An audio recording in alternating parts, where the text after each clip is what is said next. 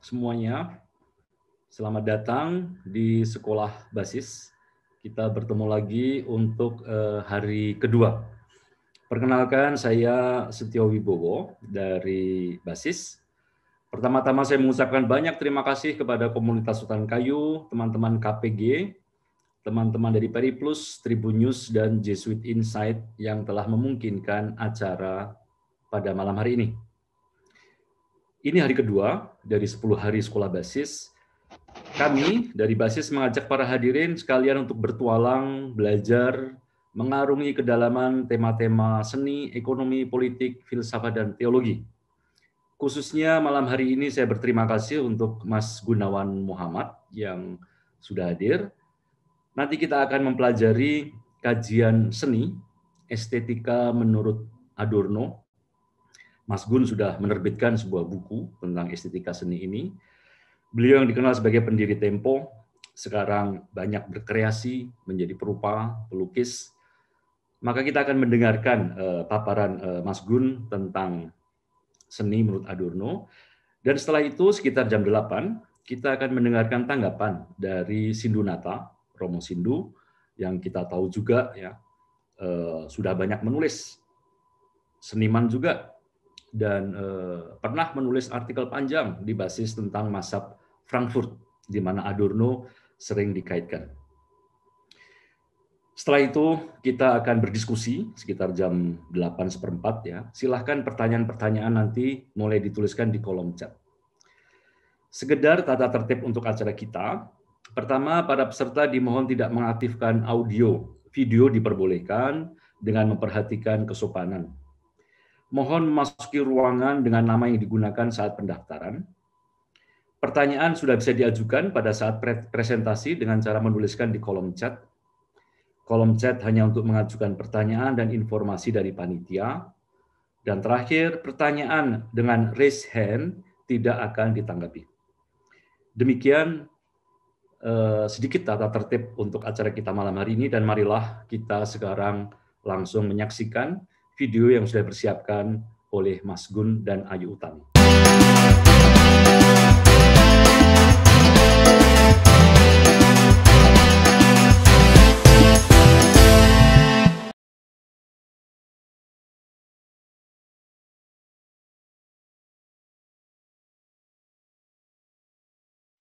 Selamat datang di Sekolah Basis yang diadakan dalam rangka 70 tahun Majalah Basis. Majalah Basis adalah majalah pemikiran dan kebudayaan yang tertua di Indonesia yang masih tetap terbit. Kita tahu ada banyak majalah pemikiran, sastra dan kebudayaan seperti majalah Pujangga Baru, majalah Siasat, majalah Sastra, majalah Horizon, Jurnal Kalam yang dikelola uh, oleh nama-nama besar di dunia sastra tapi sebagian besar dari majalah itu tidak bisa terus terbit sampai sekarang. Dan saya Ayu Tami sekarang berada di Serambi Salihara bersama Gunawan Muhammad, GM, uh, seorang tokoh uh, tokoh pers, seorang sastrawan, juga seorang seniman perupa belakangan ini. Dan kita akan berbincang-bincang mengenai estetika. Tapi sebelum itu, uh, salah satu yang istimewa juga dari majalah basis adalah majalah basis pernah menolak tulisannya GM atau Gunawan Muhammad. Jadi gimana Mas Gun ceritanya? Satu-satunya majalah yang menolak tulisan Mas oh, bukan. saya Oh enggak. Bukan. Kan waktu itu kalau kita baru nulis kan nggak dikenal, mudah aja ditolak. Tapi kayaknya Mas Gun waktu itu udah ah, terkenal ya? Lumayan, tapi tidak terkenal sekali. Tapi penolakannya bukan dasar itu. Menurut Romodik, redakturnya kan Romodik ya. Dik Hartoko dan pembantunya Andri Harjana, Andri Harjono. Tulisan itu terlalu banyak mengutip literatur Marxis. Uh, ya mungkin. Karena waktu itu kan saya terutama sangat mendalami literatur Marxis. Uh, saya lupa saya menulis apa saya, tapi bukan sastra. Uh, Ya itu tapi kan nggak apa-apa ditolak begitu dan majalah basis kan satu-satunya salah satu yang mau menampung tulisan seperti itu. Ya, jadi waktu itu adalah uh, esai Mas Gun ya yang Ya, yang sangat banyak mengutip uh, sumber-sumber pemikiran Marxis dan saya kira ini berhubungan langsung dengan tema kita kali ini. Kita akan berbincang-bincang mengenai pembacaan Gunawan Muhammad terhadap teori estetika dari Adorno. Adorno adalah seorang pemikir Marxis dari Jerman abad ke-20. Uh, kita langsung bertanya kepada Mas Gun, apa sih Mas Gun Adorno lahir atau bertumbuh pada masa Perang Dunia Perang Dunia, sementara Mas Gun lahir pada masa Perang Dunia dan bertumbuh pada masa Perang Dingin kira-kira. Nah, apa yang membuat Mas Gun tertarik kepada pemikiran Adorno? Eh, terutama karena dia eh, sukar. Eh, bala- bahasa Inggris saja sukar, apalagi bahasa Jerman.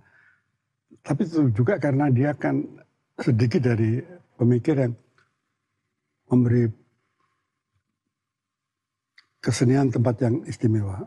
Karena bagi dia kesenian itu alternatif untuk menebus dunia yang sudah cedera oleh modernitas.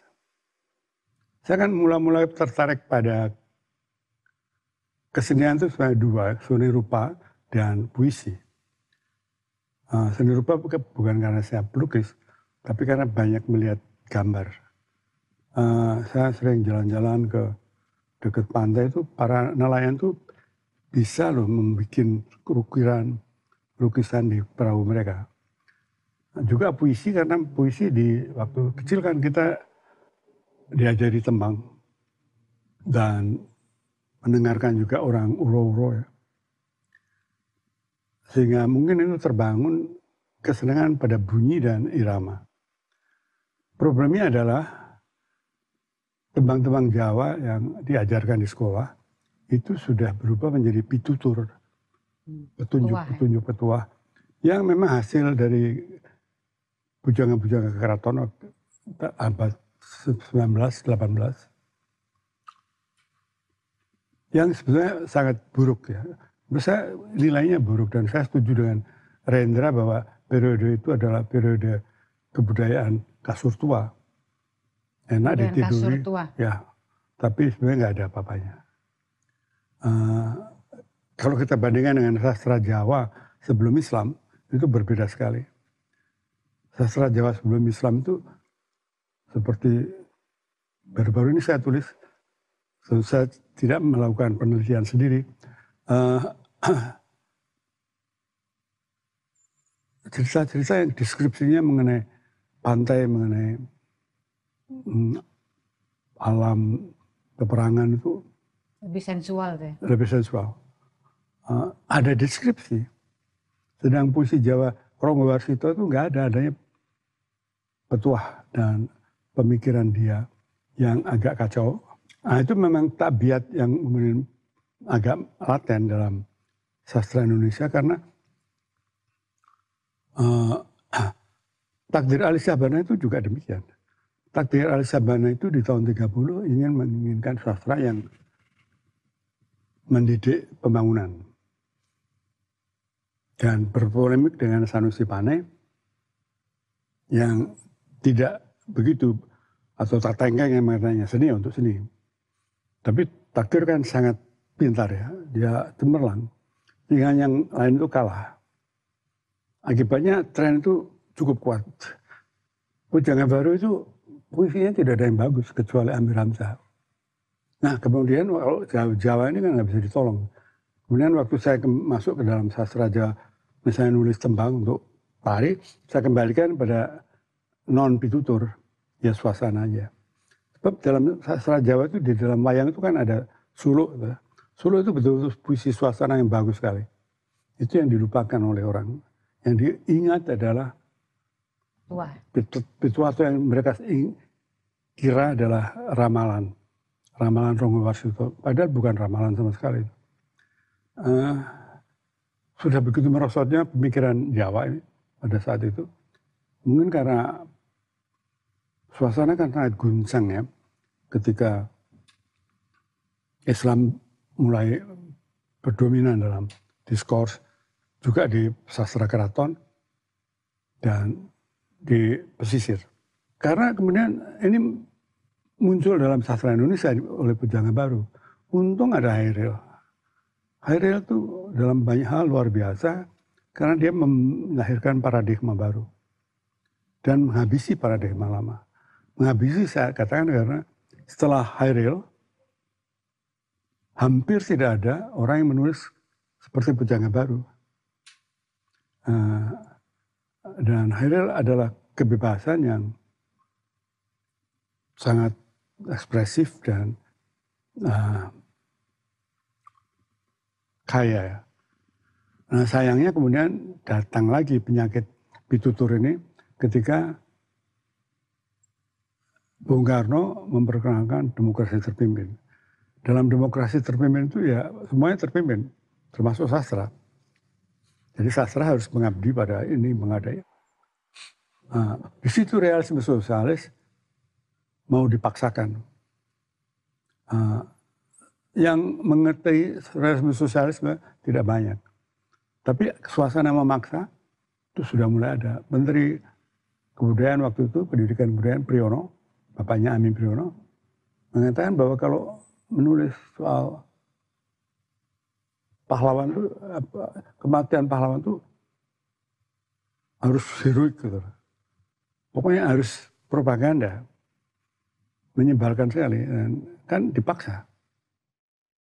Lekra lumayan. Lekra itu sebetulnya menarik ya karena partai belum mencekam betul dan prestise seniman Lekra seni rupanya tinggi. Kan di sana ada Sujoyono dan sebagainya. Jadi orang partai juga segen. Karena itu lebih bebas. Uh, seni rupa Lekra lebih menarik daripada kesenian Marxis di tempat lain. Tapi tidak semenarik Meksiko. Meksiko ada Frida Kahlo. Itu betul-betul bebas. Nah, tapi di RRT, di Rusia, di Albania, ya kayak begini. Predictable dan seni menjadi harus berarti. Itu yang saya sebut kultus keberartian. Maksudnya dia harus artinya jelas. Kedua, artinya sebagai fungsi jelas juga. Itu juga diperjuangkan oleh takdir. Menarik bahwa takdir itu yang dimaki-maki Pramudia dan Lekra tahun 60-an sebenarnya sepaham dengan mereka. Bahkan Takdir pernah mengutip Stalin mengenai seni itu kan kemudian saya pikirkan apa yang disebut indah. Sebenarnya bukan cantik, bukan uh, berwarna-warni, tapi bersedia untuk unpredictable, untuk bisa tidak ramalkan, bisa tidak terduga, bisa sama sekali baru. Karena itu dalam seni avant-garde Rusia tadi segala macam ada. Jadi keindahan itu justru melibatkan kemerdekaan. Karena bisa bisa menghasilkan yang tak terduga-duga. Nah, kenapa uh, kenapa yang unpredictable itu uh, dibutuhkan manusia. Uh, Jadi maka, kenapa seni dibutuhkan? Iya itu menarik karena ini anak akan ke. Karena kan uh, hidup sebetulnya kan unpredictable. Hidup kan sebetulnya ada chaosnya. Uh, dan pertumbuhan atau perkembangan itu kan nggak bisa diatur oleh orang lain, oleh, oleh dirinya sendiri pun nggak bisa. Uh, ada dalam diri kita kan ada yang bawah sadar, ada yang disebut uh, ya misalnya kalau kita terutama dalam musik dan puisi kan ada hal-hal yang tidak bisa tidak kita rencanakan, tidak kita atur lalu muncul ritme. Ritme karena itu anak-anak bisa mengikuti musik, menari tanpa mengerti musik itu dasarnya sama. Ada kebebasan yang di dalam tubuh sendiri.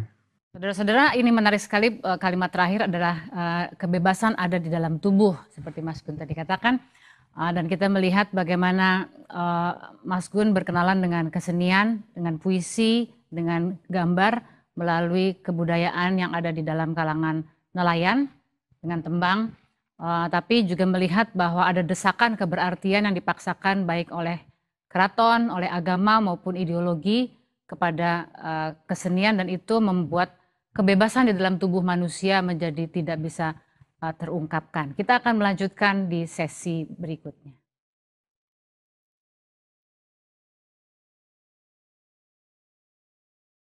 Kita akan berbicara mengenai pemikiran Adorno dari kacamata GM. Theodor Adorno adalah seorang pemikir Jerman abad ke-20 yang sangat berpengaruh pada pemikiran kiri baru di Eropa. Ia bersama Horkheimer, Walter Benjamin antara lain merupakan tokoh mazhab Frankfurt, yaitu suatu aliran pemikiran yang menawarkan teori kritis. Mazhab Frankfurt mengkritik uh, budaya kapitalistis tapi juga mengkritik fasisme, tetapi Adorno secara khusus memberi penekanan kepada seni dan estetika. Adorno mengkritik tajam industri budaya, uh, pop culture yang merupakan ciri masyarakat kapitalistis menurut dia yang memperbudak manusia. Nah, pemikiran Adorno dan hidup Adorno ini mungkin punya gaung pada pemikiran dan hidup GM. Pada usia 20-an, GM di tahun 60-an mengalami persekusi dari Partai Komunis Indonesia di era Soekarno dan di era Soeharto Eh, GM sebagai wartawan dan pemimpin redaksi majalah Tempo mengalami tekanan dari negara maupun dari pemilik modal. Dan di era sekarang tekanan itu sering kali datang dari kelompok beragama. Kita ingin lihat uh, kemiripannya dengan Adorno. Adorno sebagai seorang keturunan Yahudi mengalami persekusi hebat ketika Hitler menjadi penguasa. Dan setelah Perang Dunia, Adorno melihat desakan kapitalisme memperbudak manusia. Jadi kita ingin melihat uh, bagaimana Mas Gun atau GM melihat uh, konteks Adorno dan konteks GM sendiri. Kita mulai dari Marxisme ya. Marxisme kan sebenarnya ide, ide yang bagus ya. Ya, bapak saya sangat suka uh, emansipasi, pembebasan manusia dari menghar kerja itu bukan suatu tanda perbudakan, tapi dignity atau martabat manusia itu harus dibebaskan dan sampai sekarang pun ter, uh, apa diagnosa Marxisme itu sangat relevan. Uh, problemnya adalah ketika menghadapi persoalan di Eropa, mau mengubah Eropa, tapi pada saat itu kapitalisme belum runtuh juga. Terus Rusia menjadi sosialis sebelum kapitalisme. Kan kapitalisme itu harus dalam teori Marx runtuh karena kaum proletar begitu banyak dan kapital jatuh runtuh. Tapi di Rusia kan belum ada kapitalisme yang luas. Nah, timbul persoalan yang sangat mendalam dalam dunia Marxis adanya revisionisme yaitu meninjau kembali ini ada yang salah nih. Itu kemudian dibantah oleh Lenin dengan uh, melaksanakan terus revolusi Rusia tanpa mengikuti teori secara persis. Ada kemauan untuk mengubah dunia tanpa mengikuti mengekor pada tahap-tahap teori itu. Uh, tapi untuk itu kan diperlukan sesuatu yang ekstra. Yang ekstra itu adalah adanya partai yang disiplin, yang menjadi pelopor dari perubahan. Karena proletar sendiri belum banyak yang orang-orang ini ya, kompulsif, orang-orang yang terlatih dalam teori, intelektual sebenarnya, yang memimpin revolusi. Nah, lalu berdirilah negeri sosialis pertama di bawah Lenin dan waktu seperti saya katakan tadi waktu revolusi Rusia terjadi kebebasan kesenian bukan main bagusnya hebat penuh vibrant penuh apa gairah uh, tapi kemudian kan banyak problem ya dalam revolusi itu kan ada intervensi asing ada kemacetan di sana sini ada pembangkangan. Uh, lalu ada penindasan. Waktu Lenin meninggal digantikan Stalin, kontrol terhadap partai itu makin kuat dan partai terhadap masyarakat lebih kuat lagi. Nah lalu di situ ketika Uni Soviet mau membangun dengan rencana lima tahun, seperti Soeharto juga, uh, itu dikerahkan semua sumber dana dan daya, termasuk kesenian. Seperti zaman Jepang, dikerahkan untuk pembangunan keministerian Jepang, kebenaran Jepang ini juga untuk pembangunan lima tahun. Nah, di situ lahir realisme sosialis. Jadi realisme sosialis itu tidak seperti yang dibayangkan. Itu bukan lahir dari rakyat yang protes. Itu dari partai ingin mengarahkan rakyat. Akibatnya apa? Ya spontanitas dikendalikan. Uh, parah sekali karena banyak sekali penyair yang disingkirkan. Misalnya, ya Boris Pasternak yang terkenal, pemenang hadiah Nobel yang akhirnya tidak bisa menerima hadiahnya. Terus, uh, ya sebelumnya ada, sebelumnya uh, Akhmatova, ya, yang perempuan yang bagus sekali. Uh, yang akhirnya banyak yang mati juga, dibunuh. Kesenian Uni Soviet mati, mandek. Hasilnya yaitu orang bawa senjata, bendera, orang yang harus bagus, harus optimistis. Tidak jauh berbeda dengan seni totaliter yang dibikin oleh Hitler. Jadi ada satu buku yang saya pernah, yang saya punya di sini membandingkan seni rupa Soviet dengan seni rupa Hitler sama.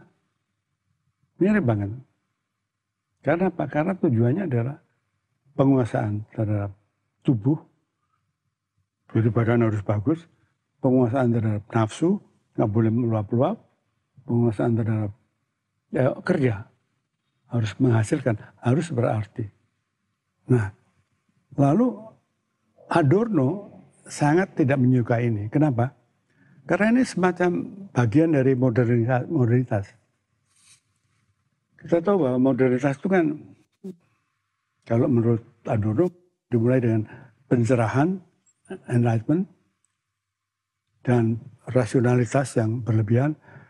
Rasionalitas oleh Max Weber disebut rasionalitas yang instrumental, yaitu harus efisien, bertujuan menghasilkan. Di luar itu disingkirkan. Akibatnya apa? Kata Weber, dunia itu seperti kerangkeng besi kehidupan. Semuanya diatur, semuanya tertib, dan impuls-impuls manusiawi hilang. Adorno termasuk yang menentang ini. Karena itu bukunya dialektik pencerahan itu kan suatu kritik pada pencerahan yang sangat tajam. Uh, suram sekali. Pencerahan membawa kesuraman. Kalau orang sebelumnya kan zaman Kant, pencerahan adalah pembebasan manusia. Adorno bilang, no, oh enggak, ini pembicaraan. Dia menganggap ini kehidupan yang cedera. Uh, dia melakukan kritik besar terhadap itu karena itu teorinya kalangan itu di di masa Frankfurt itu teori kritis, teori yang mengkritik. Iya, dia sendiri kan Marxis ya. Waktu itu memang Marxisme sangat prestisius dan memang memberikan harapan yang besar. Tapi juga kan modernitas yang lahir itu kan juga kapitalisme, membawa kapitalisme. Kapital itu kan juga membekukan banyak hal. Misalnya yang disebut nilai guna itu ditukar menjadi nilai tukar. Jadi kaos kaki itu bukan lagi dinikmati, dinilai dari kenikmatannya, dari harganya. Bisa ditukarkan. Nah kalau ditukarkan kan diabstraksi jadi sama. Padahal masing-masing unik. Nah abstraksi ini yang meng, akhirnya menghilangkan perbedaan. Sehingga semuanya adalah diidentifikasikan. Istilah Adorno berpikir identitas. Jadi berpikir itu yang mengidentifikasi ya. Kita merumus menamai sesuatu, memberi label, identifikasi, tapi kemudian yang tidak masuk dalam kriteria label itu kan disingkirkan. Misalnya, bagi contoh, orang Jawa, di label orang Jawa. Kalau yang memberi label orang Solo Jogja ya orang Tegal nggak masuk. Jadi ada hal yang tidak bisa diidentifikasikan, disingkirkan. Uh, identifikasi selalu memberi, mem, mem, mereduksi sebenarnya. Lalu ada yang turah. Nah, Adorno mengangkat yang turah ini, memberi penghargaan pada yang non identitas, yaitu yang tidak bisa dijebak dalam label, yang berbeda. Uh, saya kira tidak jauh berbeda jauh dari Derrida sekarang difference. Dan itu Pak dia dapatkan pada kesenian. Kan dunia ideologi eh, tidak memberikan jalan keluar. Uh, tadi kebutuhan Ayu menyebut memang ketika tahun 60-an itu kan orang makin nggak sabar akan perubahan Enggak tahu kenapa tahun 60-an itu radikalisme di mana-mana. Menarik sebenarnya.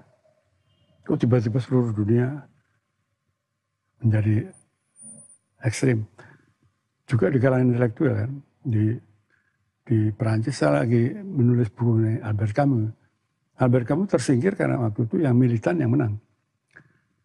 Nah, militansi inilah yang menyebabkan Adorno ditinggalkan karena tidak cukup militan perubahan kok tidak terjadi-jadi. Nah, para pemuda ini kan nggak sabar, kebanyakan orang pemuda. Lalu dianggap Adorno tidak memberikan apa-apa. Diserang. Dia tidak cukup kiri lah. Ya, mahasiswa ini radikal sekali. Sehingga sampai Adorno mati kan karena shock. Tidak langsung tapi saya ceritakan bagaimana ada demonstrasi cewek tiga orang membuka susunya di depan dia. Akhirnya dia berhenti memberi kuliah selama sejak itu.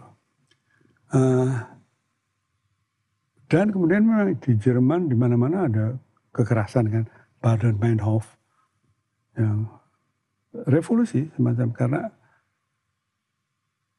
mahasiswa tidak sabar di Prancis tahun 68 itu kan Mei itu kan uh, menjadi gerakan uh, Eropa ya di kalangan muda yang membangkang terhadap establishment. Juga di Amerika kan perang anti, anti perang Vietnam. Saya waktu itu di Amerika jadi melihat bagaimana radikalisme itu. Uh, marihuana itu kan pembebasan. LSD rahasia. Hmm, hippie-hippie. Anti modernitas, anti dunia yang beku itu menjadi kebebasan tapi juga anti kapitalisme yang tidak sabar karena kapitalisme ternyata lebih kuat daripada yang diduga orang-orang ini. Sampai sekarang belum ambrol. Salah satu kritik terpenting Adorno adalah terhadap modernitas dan rasionalitas. Nah, kita ini uh, di zaman sekarang banyak sekali generasi muda juga yang sangat percaya pada rasionalitas, pada sains, teknologi, uh, seolah-olah uh, ilmu pengetahuan modern yang dulu menyelamatkan kita dari tahayul akan pasti menyelamatkan kita di masa depan. Tapi sebetulnya uh, mazhab Frankfurt sudah melakukan kritik terhadap optimisme yang berlebihan kepada rasionalitas ini. Uh, misalnya kekejaman Nazi kekejaman Hitler adalah bukti bahwa kekejaman itu bukan datang dari tahayul atau sentimen-sentimen saja, tetapi kekejaman itu datangnya dari cara berpikir modern atau rasionalitas itu sendiri. Maksudnya gimana? Karena mereka menganggap bahwa rasio itu bekerja dengan menaklukkan. Misalnya rasio bekerja dengan uh, modelnya adalah berpikir identitas atau identity thinking, menaklukkan kehidupan, menaklukkan manusia misalnya ke dalam konsep-konsep atau identitas-identitas. Uh, kalau misalnya yang dialami Adorno saya kira adalah uh, dalam masa Adorno orang Yahudi dikategorikan ke dalam satu kelompok untuk kemudian dikirim ke kamp konsentrasi dan dihabisi. Dan dalam masa Masgun atau dalam masa GM, saya kira GM sendiri mengalami bahwa uh, ia dianggap sebagai penanda, penanda tangan mani kebu, dianggap kontra revolusioner, dan kemudian didiskriminasi. Jadi persekusi, diskriminasi, dan kekejaman bukan datang dari sentimen-sentimen purba manusia, tetapi datang dari rasionalitas itu sendiri. Nah, apakah Adorno dan juga GM melihat jalan keluar bagi uh, rasionalitas yang menaklukkan ini adanya pada seni. Di politik kelihatannya nggak ada harapan. Karena dia menjanjikan apa? Kesenian adalah promes de bonheur, janji kebahagiaan. Uh, karena dunia yang luka ini yang mengobati adalah kesenian. Sebagai contoh, kapitalisme menyebabkan benda-benda kehilangan nilainya kecuali harga kan sebagai nilai tukar. Nah, kesenian, lihat seni rupa. Van Gogh melukis sepatu, itu menjadi magicnya kembali. Kan Max Weber mengatakan bahwa dunia modern itu dunia yang kehilangan pesona. Dunia yang kehilangan magic. Nah kesenian membebaskan itu kembali. Nah juga dalam bahasa, bahasa sudah tidak lagi menjadi bahasa komunikasi. Karena bahasa komunikasi itu kan menjadi datar. Nggak ada kedalaman, nggak ada unik. Ya bahasa sebagaimana uang untuk tukar-menukar. Dan berulang-ulang. Nah, bahasa pun dibebaskan dengan kesenian. Nah, karena itu dia sangat menyukai paket yang tidak pakai bahasa kecuali isyarat-isyarat. Yang arti itu tidak mencekam, dibebaskan. Yang menarik adalah bahwa tahun setelah Perang Dunia berakhir, uh, mungkin juga satu perang yang melukai Adorno ya, karena uh, dia seorang Yahudi yang harus pergi ke Amerika waktu Nazi berkuasa. Itu yang menyebabkan dia sangat melihat modernitas dengan suram sekali. Pandangan dia itu begitu suram sehingga seolah nggak ada jalan keluar waktu itu Habermas, salah satu murid di sekolah itu, di anggota dari Frankfurt, masa Frankfurt, yang paling muda, ditanya, kenapa pikiran pemikiran Anda tidak sesuram Adorno? Saya bukan Yahudi. Artinya saya tidak mengalami apa yang dialami. Tapi ada pertanyaan yang uh, mungkin menarik karena kita tahu pemikiran kiri itu datang uh, sebagai emansipasi terhadap situasi ekonomi terutama ya. Kenapa Adorno kemudian melihat seni sebagai jadi peralihan hmm. kepada seni sebagai satu wilayah yang mungkin membebaskan manusia. Kalau Marxisme sendiri kan memang analisa ekonominya kuat, tapi sebenarnya pembebasannya kan lebih dari itu. Cuma Adorno memang tidak terlatih di sana lebih banyak filsafat yang lebih yang lebih yang berbeda di, di Frankfurt School. Uh, wajar saja. Jadi, tapi memang dia akan melihat bahwa eh, pembaruan uh, gerakan politik tidak bisa menebus dunia modern ternyata. Tak kunjung dapat. Nah dia lihat kesenian bisa, itu dia masuk kesenian. Selain dia memang, ya karena dia di kesenian sangat dekat, eh, dia musik, musikus kok.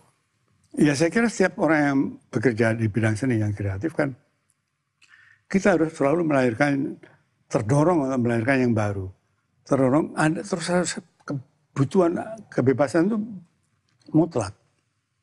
Nah, Adorno kayak kamu, saya, Tony atau siapa di dunia barat selalu kan yang direpresi Pertama di rezim rezim totaliter kesenian. Uh, berapa banyak seniman yang hilang di bawah Stalin, di bawah Hitler, di bawah Mao Zedong, uh, di bawah fasisme Jepang. Hmm, jadi memang bentrokan, bentrokan yang dari sononya kelihatannya antara kesenian dan rezim totaliter. Karena rezim totaliter itu mau mengubah manusia dari dalam diindoktrinasi, disiplinkan dan sebagainya. Itu kan tidak mungkin kesenian begitu. Kesenian itu mengandung chaos. Kesenian tanpa mengakui adanya chaos akan menjadi uh, itu pitutur. Uh, ya takdirisme lah. Karena uh, saya tadi mengatakan soal tubuh ya. Julia Kristeva itu pemikir feminis yang bagus sekali menulis soal revolusi puisi ya. Puisi itu mulanya dari sesuatu di dalam zat tubuh yaitu uh, apa namanya semiotik. Kalau semiotik dalam pengertian tertentu kan arti dari tanda-tanda enggak dia semiotik. Dan, kalau dalam bahasa Prancis pakai lah, kalau ini pakai lah, itu gerakan dalam tubuh yang melahirkan resma, melahirkan puisi. Kemudian di masuk dalam bahasa, bahasa harus kompromi kan. Bahasa adalah konvensi. Nah, dalam kompromi itu ada yang hilang, tapi selalu mendesak kembali. Karena selalu puisi ada yang tidak bermakna. Karena yang semiotik itu kan nggak bernama sama dengan semua seni begitu. Seni yang sepenuhnya berarti itu ya udah mati. Itu itu ya pitutur itu informasi brosur. Ya, kita akan melanjutkan ke segmen berikutnya. Tapi di sini kita melihat sebetulnya dari kisah dari apa dari perjalanan pemikiran Adorno, kita melihat bahwa uh, emansipasi masih bisa dibawakan melalui kesenian. Dan kita di segmen berikutnya akan lebih fokus kepada teori seni atau teori estetika dari Adorno.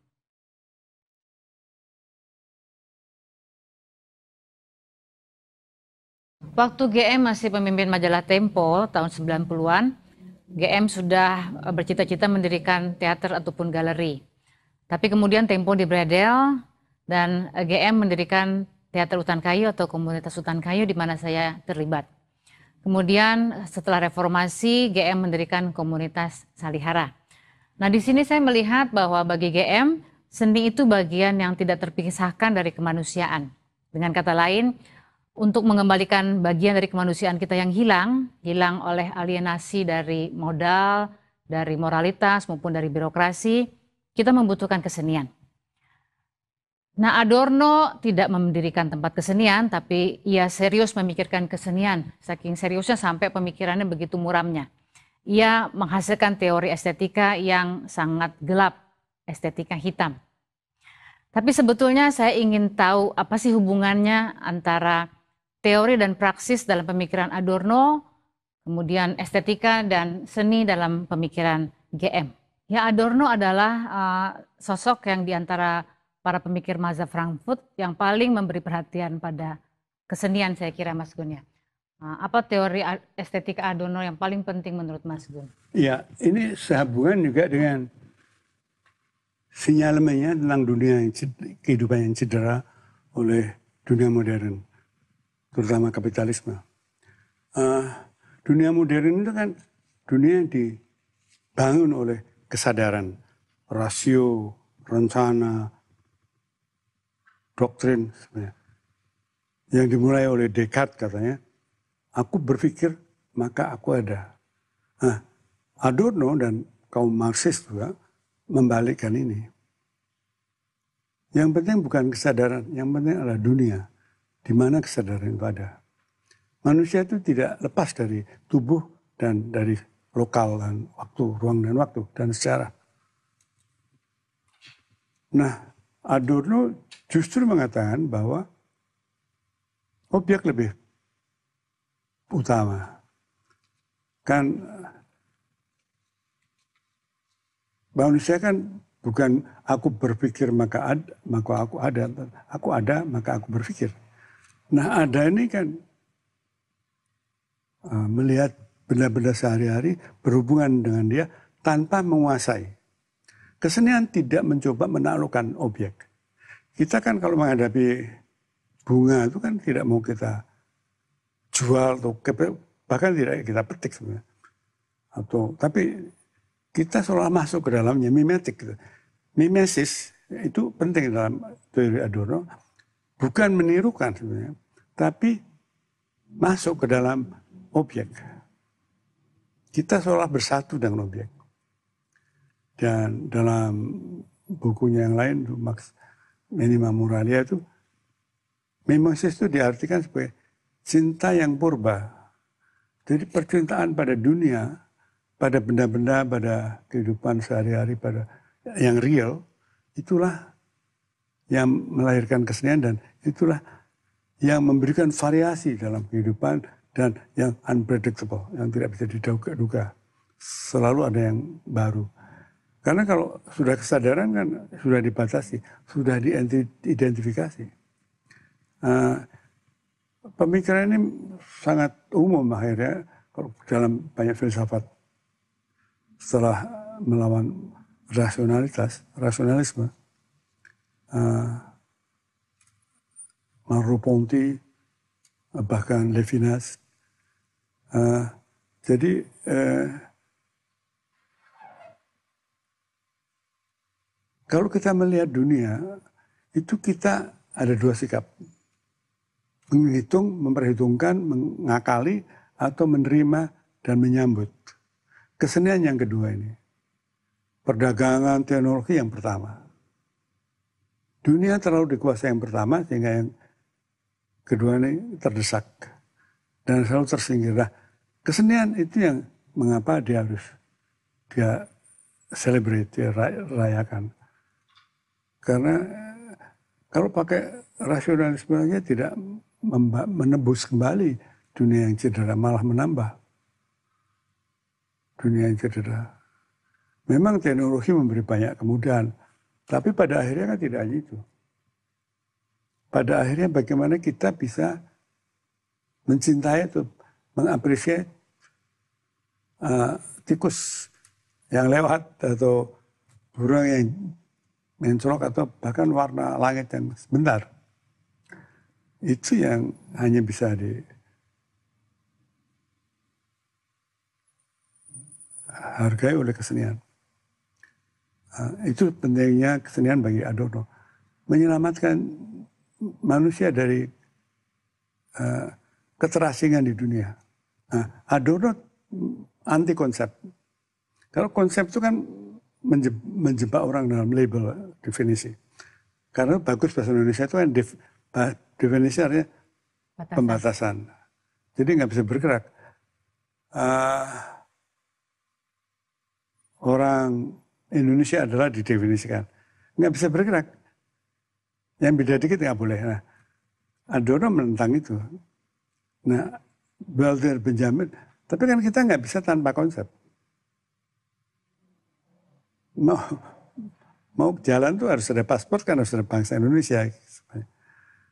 Tidak bisa tanpa konsep dalam berpikir, dalam bekerja. Nah, Walter Benjamin punya introduksi, dia lebih pintar dari Adorno, lebih dulu juga. Uh, konstelasi. Jadi hal-hal yang konkret digabung seolah bersatu membuat satu semacam konsep yang tidak rigid, tegar, tapi fluid. Fluiditas ini yang saya kira dihidupkan oleh Adorno maupun Walter Benjamin. Nah, mengenai seni reproduksi itu saya kira Walter Benjamin salah ya. Karena dia terkesima dengan teknologi yang baru. Uh, dia pikir kalau kesenian itu sudah ke masyarakat akan terjadi pembebasan. Ya kan? Karena semua orang bisa memiliki, bisa berhubungan dengan karya-karya luhur kan.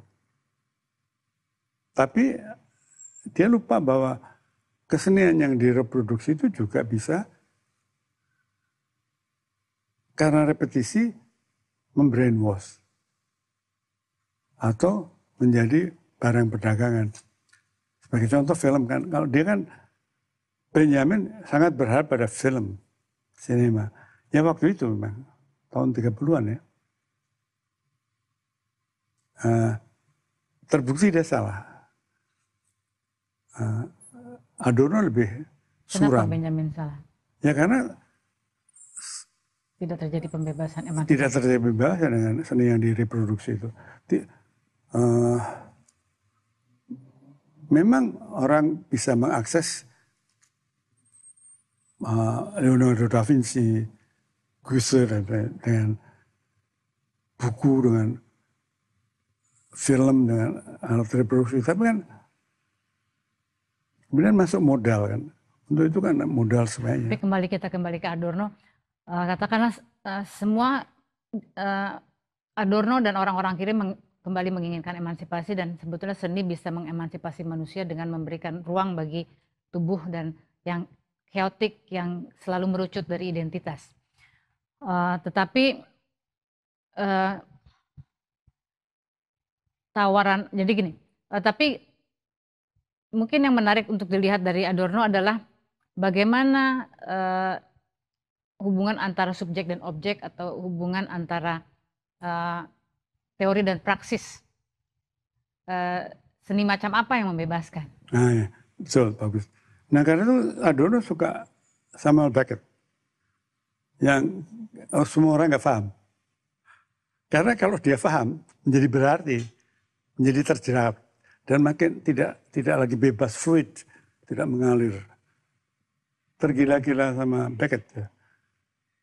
Sa, sa, tafsirnya salah mengenai endgame dia bilang itu kayak apa gitu. Kata mereka salah itu. Tapi kan nggak apa-apa. Kan bebas. Nah. Musiknya kan Schoenberg. Yang nggak dia anti musik pop kan karena musik pop itu mudah sekali menjadi dikomersialkan. Uh, bahkan di grup Schoenberg waktu itu di sana Schoenbergnya tidak se ekstrim itu. Ya musiknya tidak untuk ditonton uh, anti semua yang mudah dikomodifikasikan. Tapi kembali pada hmm, jadi pertanyaan bagaimana uh, seni yang mengemansipasi menurut Adorno ya, itu ya, yang tidak berarti tidak bisa digunakan, tidak bisa dijual belikan. Pokoknya di luar kegunaan, bebas dari guna, bebas dari arti. Artinya kita bebas uh, kalau kemudian Roland Barthes mengatakan otoritas sudah meninggal, sudah mati, itu sebenarnya membebaskan orang untuk bermain-main menafsirkan karya seni. Itu sebenarnya tujuan cita-cita Adorno juga. Jangan diikat lah. Nah memang kan pertanyaannya, kalau seni yang mengemansipasi itu adalah seni yang membuat, membebaskan ya membebaskan manusia dari kewajiban berarti, membebaskan manusia dari berguna. kewajiban berguna, uh, dan membebaskan manusia juga dari kewajiban bernilai. Uh, apakah segala hal yang berguna atau berarti atau bisa difahami itu menjadi menjadi batal? Adoro itu kan agak ekstrim ya, gelap dunia. Soalnya itu semua jadi salah. Itu sebenarnya dia menilai jazz kan salah. Karena mutlak dia gelap tuh. Nggak ada kemungkinan. Padahal kan masih ada kemungkinan di dalam dunia yang cedera. Ini masih ada kreativitas.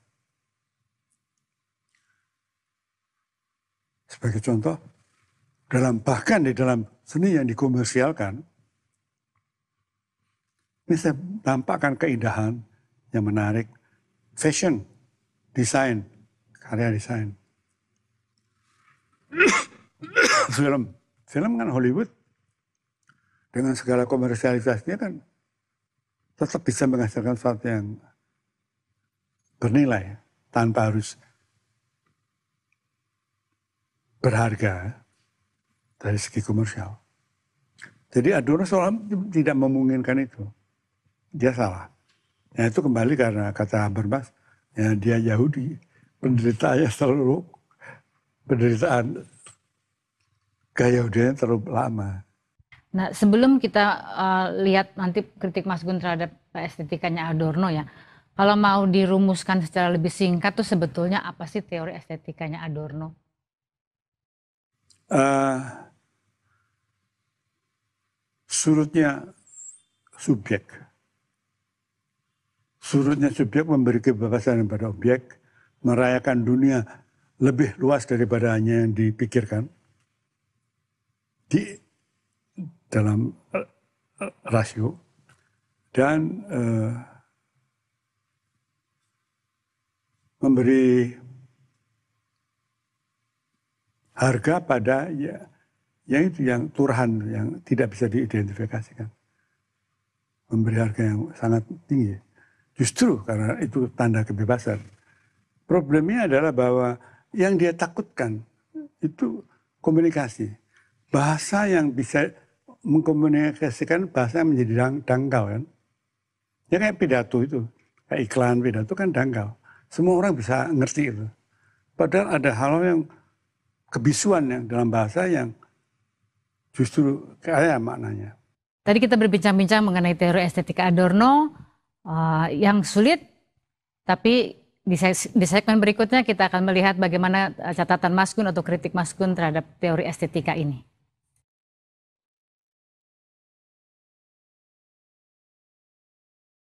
Kita sudah berbincang-bincang mengenai teori estetika Adorno dan kita sudah melihat bagaimana Adorno akhirnya memilih seni-seni seperti musik Schoenberg, seperti teater Samuel Beckett, semua yang sulit dipahami oleh orang umum. Uh, Adorno juga tidak bisa menghargai musik jazz. Nah, kita akan tanya kepada Mas Kun, apa kira-kira kritik Mas Kun terhadap teori estetika Adorno? Uh, menjadi elitis. Ya. Artinya hanya orang yang seperti dia yang bisa menghargai kesenian, sesuatu kesenian tertentu. Kedua, pandangannya kan begitu suram. Sehingga seolah-olah yang gembira, yang bermain-main, yang uh,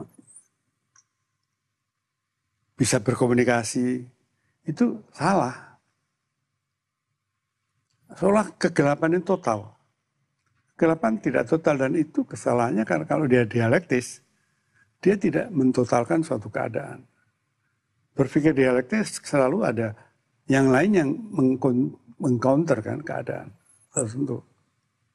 Jadi kalau ada suram semua, tentu ada yang tidak suram.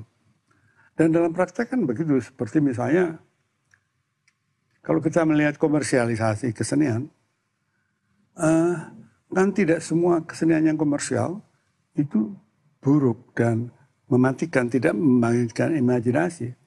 Kalau Broadway memang agak Broadway memang agak menurut saya saya setuju dengan Adorno jeli mahal jeli tapi kalau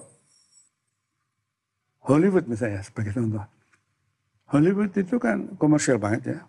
Tapi jangan lupa bahwa di dalam dari Hollywood juga banyak perjuangan melawan rasisme.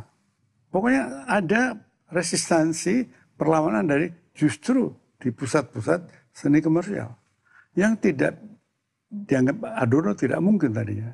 Ya dia hidup pada waktu itu. Ya, tidak belum lama kan. Belum belum ada itu perkembangan kesenian semacam itu. Uh, musik juga. Dia melihat jazz. Seolah musik hiburan saja. Pertama memang hiburan sewot itu lah uh, kedua sebetulnya jazz kan dia melihat jazz sebagai hasil dari uh, apa terusan dari negro spiritual yang banyak mengeluh. Tapi kan kemudian kan itu cara orang hitam melepaskan diri dari musik yang dominan dari pola yang dominan. Terutama dalam bebop. Uh, dan yang fenomen kejadian yang menarik kan lagu apa Strange Fruit ya yang dinyanyikan oleh Billie Holiday mengenai orang-orang yang digantung di daerah selatan orang hitam. Yang gantung kayak buah-buah yang aneh. Itu lagu luar biasa menyedihkannya. Kemudian dia menganggap jazz itu satu. Kan identifikasi. Bahkan kata jazz itu kan penemuan belakangan. Tadinya kan nggak ada namanya. Dia sendiri kemudian terjatuh pada identifikasi thinking. Nah, mungkin karena itu karena dia tidak bisa membebaskan dari konsep, dari penamaan konsep. Dan nggak mungkin orang bebas dari itu. Yang perlu adalah penamaan atau konsep itu selalu dibuka. Juga dunia yang cedera ini selalu ada lubang keluar untuk sedikit di mana-mana. Dalam masyarakat totaliter sekalipun seperti di saya nggak tahu di Korea Utara sekarang di zaman Jepang di sini kan Hairil nggak ketangkap. Akhirnya ketangkap bukan fisik, tapi nggak bisa didisiplinkan oleh Jepang. Apalagi Jepang. Di Uni Soviet kan tetap aja Boris Pasternak menulis yang bagus sampai akhirnya. Itu kritik saya adalah bahwa dia terjebak kembali pada identity thinking dalam dan melihat dunia monokromatik tanpa dialektik. Kita sudah berbincang-bincang cukup panjang dengan GM mengenai teori estetika dan kita melihat bagaimana sebetulnya Adorno juga menceritakan uh, dengan teori mimesis mungkin uh, sebetulnya dalam seni ada moda cinta yaitu berhubungan dengan dunia dengan yang lain dengan mod, uh, dengan model yang bukan rasional tapi dengan model yang lebih peniruan bukan peniruan tapi ya lebih Eh, kebersamaan yang dia sebut sebagai mimesis. Tapi menarik juga bahwa kita melihat sebuah perjalanan pemikiran uh, seperti pemikiran Adorno bisa jatuh kembali kepada uh, apa jalan buntunya. Kalau kita mungkin lihat tadi uh, seperti Mas Gun ceritakan Adorno menceritakan mimesis sebagai cinta, tapi ketika dia merumuskan uh, teori seninya, kita melihat suatu Adorno jatuh kembali kepada uh, identity thinking. Jadi dia terhadap tidak... Jeff terutama dan terhadap musik juga. Musik harus soalnya nggak ada alternatif. Jadi mungkin itu mengingatkan kita bahwa kita harus berhati-hati karena apa yang kita kritik mungkin adalah kita pada Akan akhirnya kita lakukan.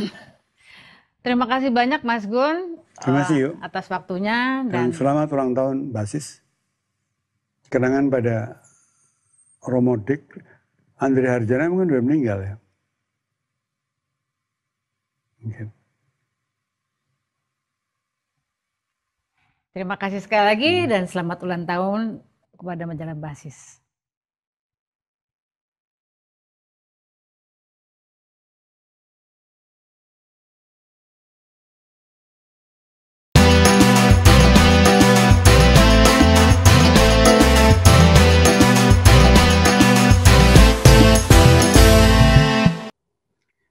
Terima kasih banyak Mas Gun untuk uh, intervensinya. Terima kasih untuk ucapan ulang tahunnya. Uh, Mas Gun juga tahun ini merayakan ulang tahun yang ke-80. Semoga umur panjang dan selalu tetap menyumbangkan ide-ide yang sangat menarik ya seperti kita dengarkan pada malam hari ini untuk kita di Indonesia ini. Mari sekarang kita dengarkan tanggapan untuk uh, presentasi Mas Gun tadi itu dari Romo Sindunata. Silahkan Romo Sindu. Terima kasih, Stio. Dan selamat malam teman-teman. Uh, khususnya Mas Gun dan Ayu yang sudah membawakan dengan baik bahan yang akan menjadi uh, titik tolak diskusi kita pada malam hari ini. Pertama-tama saya sungguh eh, senang bisa bertemu dengan Mas Gun pada kesempatan ini untuk sekedar cerita pada waktu teman-teman Hutan Kayu meminta saya untuk ikut berbicara menyambut ulang tahun Mas Gun yang ke-80 saya mengatakan saya tidak berani harap dimaklumi karena saya tidak tahu bagaimana kalau harus uh, uh, mengapresiasi atau mempelajari Mas Gun ini. Bukan hanya dia senior saya, tetapi juga pemikirannya sangat luas, meliputi apa saja dari jurnalisme sampai filsafat, sastra, drama, film, nggak mau dari mana. Lalu lebih baik saya uh, tidak menyanggupkan diri. Untung malam ini dipertemukan dan ini semacam tebusan bahwa saya masih boleh menyambut ulang tahun Mas Gun dengan cara ulang tahun 70 tahun basis ini.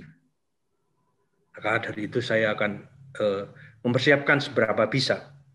Pertama-tama saya ingin mengucapkan salut yang besar pada Mas Gun atas bukunya ini tadi apa yang eh, dia katakan tadi sebenarnya sangatlah sebagian dari apa yang tertulis di dalam estetika hitam Adorno Seni dan Emansipasi ini. Kalau Anda membaca ini, Anda akan tahu apa yang sebenarnya di balik itu semuanya. Dan salut saya sehubungan dengan tadi dikatakan, mengapa pilih Adorno waktu Ayu tanya, dan Mas Kun menjawab, karena sulit. Nah, ini juga mengingatkan pengalaman saya pada waktu saya tahun 77 menggarap sekolah Frankfurt, khususnya pemikiran Horkheimer dan Adorno di dialektika pencerahan, Romo Manis mengatakan, apa kamu nggak berpikir lagi menggarap ini? Ini terlalu sulit itu. Tapi entah saya tertarik begitu saja dan akhirnya saya kerjakan. Jadi seperti pengalaman yang sama. Nah, saya kira lebih-lebih di dalam buku, eh, Mas Kun bisa memberi menuangkan Adorno dengan sangat baik. Padahal Adorno ini tidak mudah dimengerti apalagi dengan bukunya yang terakhir teori estetik ini yang merupakan semacam kompilasi puncak dari seluruh pemikiran dia yang tidak mudah memang. Jadi memang sungguh sulit dimengerti. Nah, tetapi Mas Kun bisa menyampaikan ini bukan dengan nada seorang filsuf yang eh, mau bertinggi-tinggi, tetapi dengan seperti kalau dia eh, menulis tit, anu, catatan pinggir. Catatan pinggir. Jadi eh, enak dibaca. Dan menurut saya eh, inilah eh, kekuatan jurnalisme seorang Gunawan Muhammad gitu. Dia bisa mencerna itu dan menyampaikannya. Dan waktu saya menggarap yang sama, itu juga saya pakai pendekatan macam ini karena rasanya sulit sekali menuangkan Adorno atau Horkheimer itu kecuali dengan bahasa yang ingin saya sampaikan gitu. Nah, mungkin karena kita orang pers, jadi eh, akhirnya bisa juga mengerjakan ini dan bisa dimengerti ya.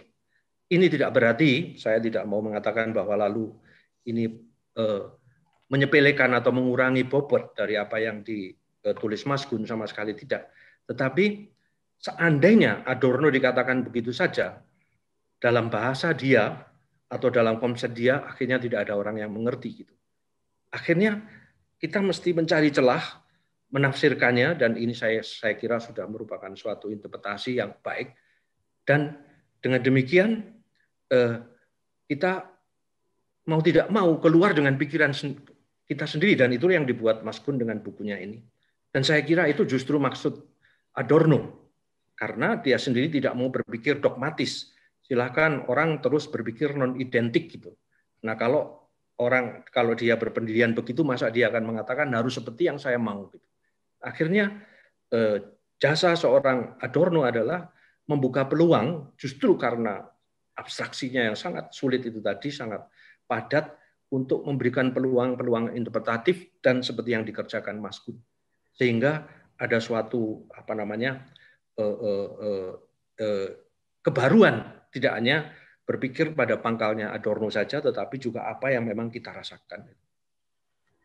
Saya eh, mengatakan bahwa Adorno itu pada awalnya bersama Horkheimer dan Sekolah Frankfurt eh, bertolak bahwa teori itu harus tidak terpisah dari praksis karena dia seorang Marxis itu.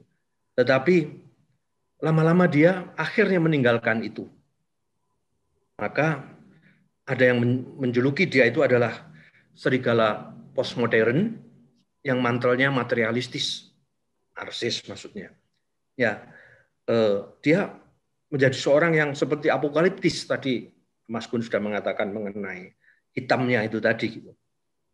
Tetapi yang harus dikatakan ini ini sendiri merupakan suatu pikiran praktisnya itu diganti dengan pikiran eh, pikiran yang ke arah praksis itu diganti dengan pikiran kritis dan ini saya kira yang boleh saya petik kalau juga mendengar dari Urian Mas Gun yang merupakan jasa bagi kita. Dan seperti ditulis Mas Gun dengan bagus, tentu saja dengan mengacu pada Adorno, berpikir itu sumber kebahagiaan. Jadi orang yang tidak berpikir itu tidak bahagia. Ya eh, tak tak besar bedanya berpikir dengan makan bebek bakar. Dia bercanda dengan Hockheimer begitu. Ya. Jadi eh, mari kita berpikir gitu. Ini ajaan Ordono yang paling kuat dengan teori non identitasnya tadi, menolak itu tadi. Maka kata dia dan Mas Gun menulis dengan baik, kebahagiaan yang tampak bersinar di mata orang yang berpikir adalah kebahagiaan umat manusia. Berpikir itu memang betul-betul eh, sesuatu yang penting di dalam diri seorang Adorno gitu. Nah, eh, tetapi kemudian tadi sudah dikatakan, janji kebahagiaan itu tidak terletak di dalam berpikir, tetapi berpikir mengenai seni, kalau saya mau mengatakan begitu. Nah, Mas Gun mengucapkannya dalam bahasa Perancis, kalau dalam bahasa Jerman itu kata kuncinya itu Glücksversprechen, janji kebahagiaan itu ada di dalam seni gitu. Maka, maka saya tadi terkesan Mas Gun memakai kata turah. Nah, turah ini untuk sekedar ilustrasi adalah simbol seorang ibu yang ada di Omah Petruk di mana yayasan basis ada. Seorang ibu itu katanya danyangnya merapi yang justru turah karena terus memberi gitu ya. Nah, eh, Mas Gun mengartikan turah sebagai sisa, celah sisa. Tetapi ada arti positif dari Turah adalah lebih. Gitu. Maka saya melihat seni di sini bahwa walaupun sisa di sinilah lebihnya seni itu. Jadi tidak memberikan suatu uh, uh, peninggalan sisa-sisa, tetapi lebih kalau kamu mau masuk ke dalam seni, berpikir mengenai seni itu betul-betul peluang yang banyak yang kita pikirkan. Gitu. Nah, seluruh pemikiran Adorno kiranya tidak bisa dilepaskan juga eh, dari eh, dialektik pencerahan yang dia mengatakan bahwa pencerahan akhirnya eh, apa yang rasional menjadi mitos. Dengan manusia menindas alam dengan pikirannya menguasai tadi, akhirnya dia tertindas sampai sedalam-dalamnya di dalam dirinya sendiri. Jadi manusia ini tidak merasa bahwa dia sudah diperbudak dari dalam oleh apa pun gitu. Oleh kesamaan karena kultur industri itu menyamakan semuanya menjadi uh, sepadan gitu, tidak ada bedanya. Jadi sungguh tidak ada uh, apa namanya peluang dan di situ ditekankan yang dia sebut dengan paksaan identitas harus begini begitu. Dan ini ya yang ditentang Adorno dan walaupun dia pada waktu itu pun sudah rasanya tidak tahu jalan keluarnya dengan dialektika pencerahan itu tadi. Jadi eh, yang dikatakan itu bahwa pintu darurat itu nyaris tidak ada bagi orang modern ini untuk keluar dari perbudakan. Perbudakan yang dia derita dari pikirannya yang memang sangat menindas di dalam dunia kapitalis ini gitu. Di dalam dunia rasio eh, semuanya ini diperbarangkan. Verdinglichung itu artinya Mas Gun eh, eh, memakai kata reifikasi itu pembarangan. Semua ini ya itu tadi nilai tukar dan sebagainya. Eh, termasuk agama termasuk jangankan kultur agama pun juga sudah diidentikan dengan nilai tukar itu tadi kita tahu itu. Dengan amat mudah kita menemukan contohnya gitu. Jadi modernitas itu betul-betul sesuatu yang dekat dengan kematian dan kematian eh, akal budi, perbudakan di dalam diri manusia sendiri sampai sehabis-habisnya. Karena itu dialektikanya makin kita memperbudak alam dengan apa yang kita mau, makin alam memperbudak kita. Jadi jangan dikira kita ini sudah tidak seliar alam dan ini nampak ketidakberdayaan kita sekarang ini juga gitu. Maka Adorno mengatakan bahwa eh, kebebasan itu memang tidak ada lagi. Dia mengatakan dengan suatu ironi, siapa taat dia memerintah. Jadi jangan dikira orang-orang penguasa modal sekarang itu adalah eh, memerintah. Dia adalah orang yang diperbudak dari dalam dirinya gitu. Jadi dia dia memerintah justru karena dia taat pada reifikasi pada pembarangan yang telah terjadi dan pada penindasan alam yang ada ini. Dia menjadi budak pada dirinya sendiri gitu. Nah, makin ia berkuasa dan dalam hal ini kita bisa berpikir bagaimana cara dialektis eh, eh, pemikiran dialektis Adorno, makin ia berkuasa sebenarnya makin ia mau taat seperti budak itu. Apalagi di dalam eh, dunia kultur industri sekarang ini. Jadi sebenarnya menguasai memerintah, bertaat dan patuh itu sama saja di dalam dunia sekarang ini. Karena semua orang digerakkan oleh suatu uh, uh, uh, suatu naluri yang sungguh sungguh, sungguh tak terkontrol lagi bagi subjek untuk menemukan jalan keluar. Tidak ada pintu daruratnya istilahnya Adorno tadi itu. Dan di situlah dia melihat seni, seni sebagai sesuatu yang turah, dan akan ada di situ eh, jalan keluarnya gitu. Nah, seni itu seperti juga ditulis oleh Adorno, seni itu jangan dijelaskan. Menjelaskan berarti mendominasi, itu dikasih contoh dengan Samuel Beckett yang sangat eh, sungguh-sungguh bahkan komunikasi itu pun akhirnya diam gitu. Jadi tiap jawaban yang menghentikan pertanyaan akan berarti menghabisi apa yang non identikal. Jadi biar dia tidak identik gitu. Jadi inilah kritik untuk menjawab kekaburan zaman pencerahan di mana eh, eh, ini seni itu juga diperbudak di dalam eh, kultur industri ini.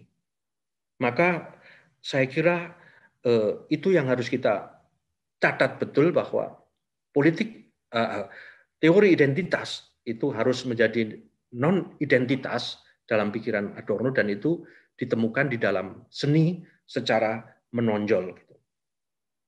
Jadi kita tidak boleh berhenti dengan pertanyaan, tidak boleh berhenti dengan pemikiran karena begitu kita berhenti kita menjadi identik. Gitu.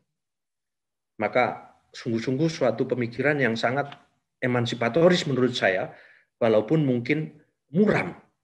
Jadi eh, itu sungguh-sungguh kita tidak bisa di dalam dunia yang yang cedera, yang terluka ini kita diam. Kita harus terus mengantisipasi dan kemungkinan yang terbesar itu seni. Nah, maka saya kira kalau kita meletakkan di dalam konteks yang lebih luas itu adalah kalau seni kita pandang sebagai bagian dari kebudayaan betapa kalau dikatakan bahwa kebudayaan itu adalah akar semuanya kita mestinya uh, ke sini dan memang di dalam kultur industri ini yang namanya kebudayaan dan sebagainya itu sudah dihilangkan. Jadi betul-betul disamakan semuanya menjadi tidak ada bedanya dan akhirnya semua harus punya maksud, punya nilai seperti apa? Ya seperti yang dimaukan oleh pembendaan itu tadi, bukan oleh seperti yang dimaui oleh uh, uh, halnya sendiri gitu. Maka uh, saya menggarisbawahi apa yang dikatakan Mas Gun, uh, kebahagiaan itu terjadi jika tidak terbentuk hubungan yang dibebani oleh maksud. Bahagian adalah terbentuknya hubungan yang tak dibebani oleh maksud gitu. Karena setiap maksud, setiap eh, apa namanya kemauan, setiap rasio itu sudah menindas gitu loh. Karena apa? Karena pikiran manusia kalau kita balik ke teori sebelum sebelum uh, dialektika pencerahan itu sudah menjadi instrumentalis. Jangan dikira kita masih mempunyai pikiran objektif menurut uh, Adorno dan Horkheimer karena pikiran kita sudah instrumen apa saja kita bergerak sebagai instrumen. Instrumen pasti memperalat orang lain juga. Dan karena itu tidak ada kebebasan di sini. Maka bebaskanlah diri kita dari maksud supaya kita ini bisa bahagia. Itu saya kira yang ingin saya eh, catatkan dan saya ingin eh, membuat eh, tidak ingin mengulang apa yang dikatakan oleh Mas Gun karena sudah sangat jelas apalagi kalau membaca bukunya tetapi saya justru ingin pertama menggarisbawahi kedua memberikan sedikit pemikiran yang mungkin boleh kita diskusikan gitu. Jadi Mas Gun tadi mengatakan mengenai kata unpredictable. Ini saya kira kata kunci di dalam Adorno, tetapi juga kata kunci kehidupan kita. Hidup kita ini harus berani chaos, tidak hanya mapan saja ya, toh. dan kita tidak tahu unpredictable. Sementara masyarakat modern ini semuanya mau diawasi dengan birokrasi itu yang dikritik Adorno, dan karena itu dia mengatakan fasisme itu bukan pertama-tama suatu teori ras, tetapi adalah buah dari zaman pencerahan.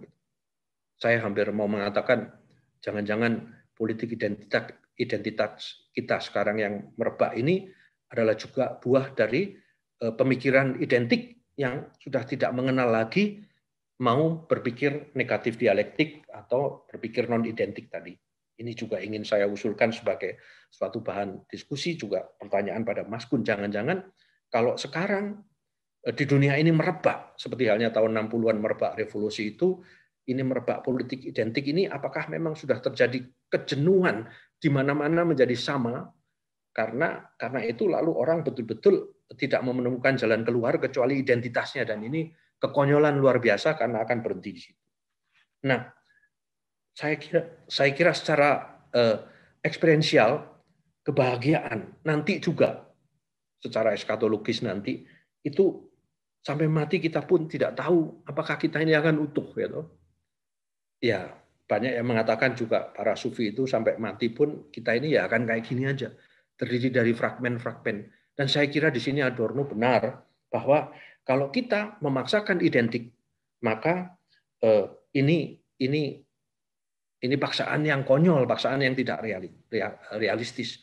Maka saya kira membaca Adorno bahwa semuanya ini harus non identik bahkan sampai nantinya dan kita tidak tahu ke mana justru karena itu adalah unpredictable tadi, maka ini suatu yang yang yang menghibur sesuai dengan pengalaman eksistensial kita. Kita eh, apa namanya betul-betul merasa tidak ada jaminan bahwa kita akan seutuh itu. Karena itu jangan sok bahwa kita akan seutuh itu. Ini yang saya tarik sebagai kesimpulan kalau saya membaca Adorno. Nah, lalu yang kedua, apakah mungkin saya memberi catatan Eh, teori non-identitas itu kita pakai untuk mengerti misalnya bineka tunggal ika. Saya kira eka itu adalah suatu tujuan identik, sedangkan yang bineka itu adalah yang non-identik dan selamanya akan kayak begini. Maka saya pikir kalau kita berpikir dialektis eh, seperti teorinya estetisnya eh, Adorno ini tadi, mencari peluang non-identik itu tadi, karena di sana terjadi sesuatu yang unpredictable, itu saya kira eh, apa namanya kita lebih sareh gitu loh. Karena tidak mungkin akan terjadi kesatuan itu kecuali kita menerima perbedaan. Ini tidak berarti bahwa eh, eh, eh, kesatuan itu sesuatu yang masih di depan. Kalau begitu ini kita anti Pancasila ya karena kita sudah mengatakan bahwa kita ini mempunyai kesatuan itu sebagai sesuatu yang sudah primordial ada di dalam diri bangsa kita. Nah, tetapi ini harus kita realisasikan, realisasikan terus lewat non-identitas ini tadi, supaya nantinya baru terwujud dan itu mungkin tidak akan terwujud. Dan inilah saya kira pentingnya negara demokrasi. Kita sudah gagal dengan demokrasi terpimpin maupun demokrasi di zaman Orde Baru yang praktis rejim karena eh, eh, identitas ini, keekaan yang mau kita tonjolkan, padahal eh, Eh, eh, kebinekaan ini merupakan dialektis terus-menerus, bukan hanya dengan suatu utopia yang ke depan, tapi juga dengan sesuatu yang yang kata Schiller sesuatu yang sebenarnya dulu ada, sekarang hilang, dan ini harus kita cari terus sampai kita temukan ke depan. Dan ini saya kira Adorno berada di dalam kesatuan dengan mereka-mereka ini. Lalu hal yang praktis yang ingin saya tanyakan pada Mas Gun, walaupun tadi dikatakan dengan wawancara dengan Ayu pada terakhir, dia sebenarnya juga mempunyai kritik mengenai keriang gembiraan, itu eh, eh, saya pikir ya, Mas Gun di sini menulis mengenai mungkin dengan nada kritis mengenai Didi Kempot dan musik Ayu Ting Ting itu bagaikan uh, K-pop maupun jazz yang dikritik Adorno gitu. Nah, saya melihat sesuatu karena saya pernah menulis Didi Kempot mau maka saya katakan ini sebagai sesuatu bahwa mungkin industri musiknya itu yang kayak gitu tapi yang digarap di Kempot ini adalah keambiaran yang justru uh, dia sendiri the lot of ambiar yang yang memang uh, uh, menampung bahwa manusia sekarang ini mempunyai uh, itu tadi ambiar, jadi tidak identik lagi gitu. Dalam cinta pun ambiar, seperti kata Birman, Wolf Birman itu yang juga dikagumi Adorno bahwa uh, istriku pun menjadi utopia gitu ya toh. Tidak hanya marxisme, utopia istriku pun menjadi utopia begitu. Jadi itu sesuatu yang uh, Eh, ingin saya katakan bagaimana kita menanggapi misalnya fenomen Didi Kempot bukan terhadap anu, irama musiknya yang mendayu-dayu tetapi garapan bahwa dia bertolak dari sesuatu yang ambiar ini tadi dan ini menurut saya kisah yang sangat merakyat mengenai apa yang diprihatinkan Adorno keambiaran dalam uh, uh, uh, sekarang ini bahkan kesetiaan janji itu semua ambiar gitu loh karena memang tidak identik sebenarnya mau kita ikat dengan apa pun bahkan dengan agama pun tidak bisa. Saya kira eh, itu Mas Gun dan sebagai sesama seniman saya ingin meningkatkan kerinduan Adorno dengan puisinya Wolf Biermann yang sangat indah yang menurut saya saya pun rindu ke negeri para penyanyi tempat anggur menjadi lagu. Terima kasih Stio. Terima kasih banyak Romo Sindu. Mas Gun, apakah sudah siap? Tadi Romo Sindu ada pertanyaan tentang Didi Kempot ya, bahwa Lord of the Broken Heart ya, eh, itu sebetulnya bertitik tolak juga dari non-identity. Silahkan dijawab singkat. Nanti ini ada sudah ada banyak sekali pertanyaan nih Mas Gun, jadi mungkin reaksi cepat untuk pertanyaan Romo Sindu terakhir. Belum belum di unmute Mas Gun, masih suaranya belum keluar.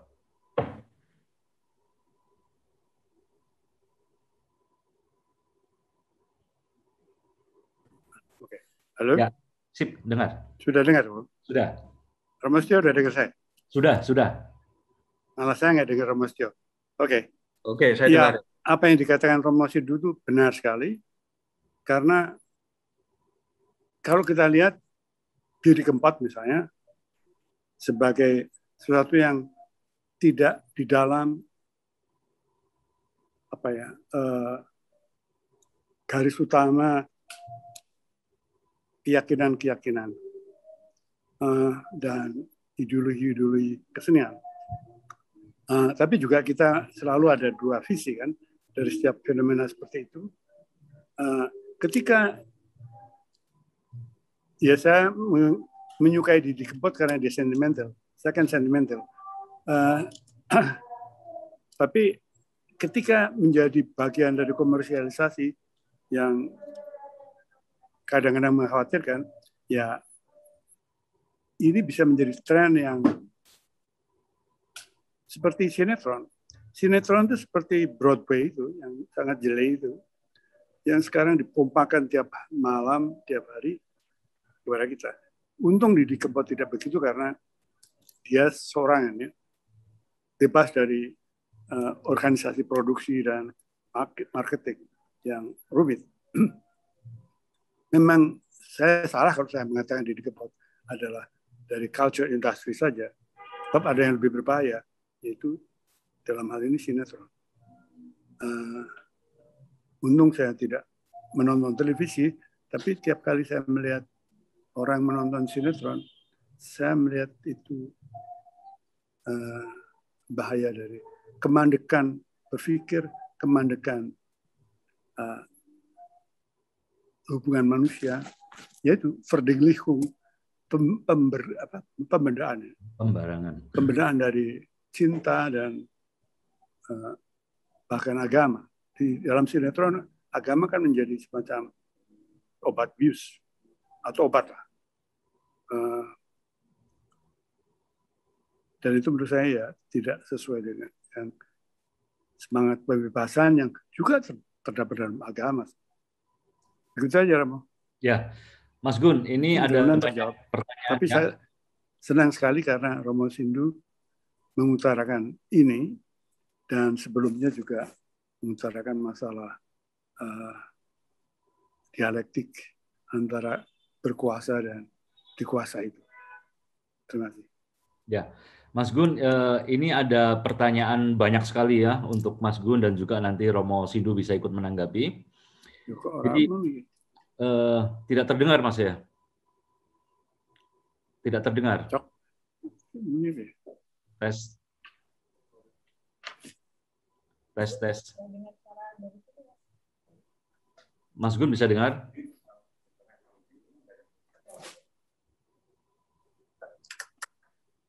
Mas Gun bisa dengar ya?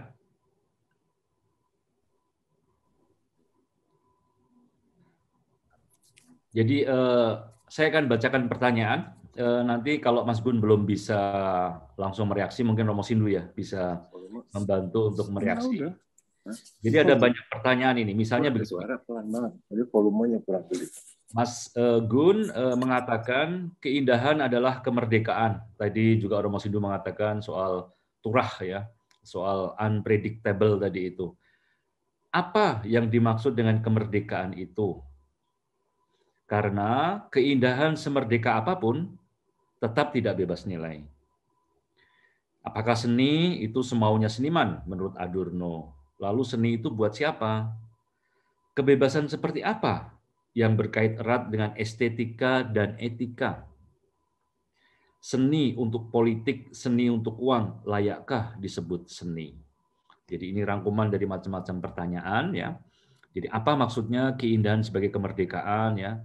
apa yang dimaksud dengan kemerdekaan ya apakah uh, tidak apa, apakah uh, lalu kemudian semuanya bebas nilai begitu ya. Apakah seni itu lalu semaunya seniman menurut Adorno ya? Seni untuk siapa? Kebebasan apa yang uh, berkaitan erat dengan estetika dan etika ya? Monggo silahkan Mas Gun kalau sudah bisa mendengar mereaksi silahkan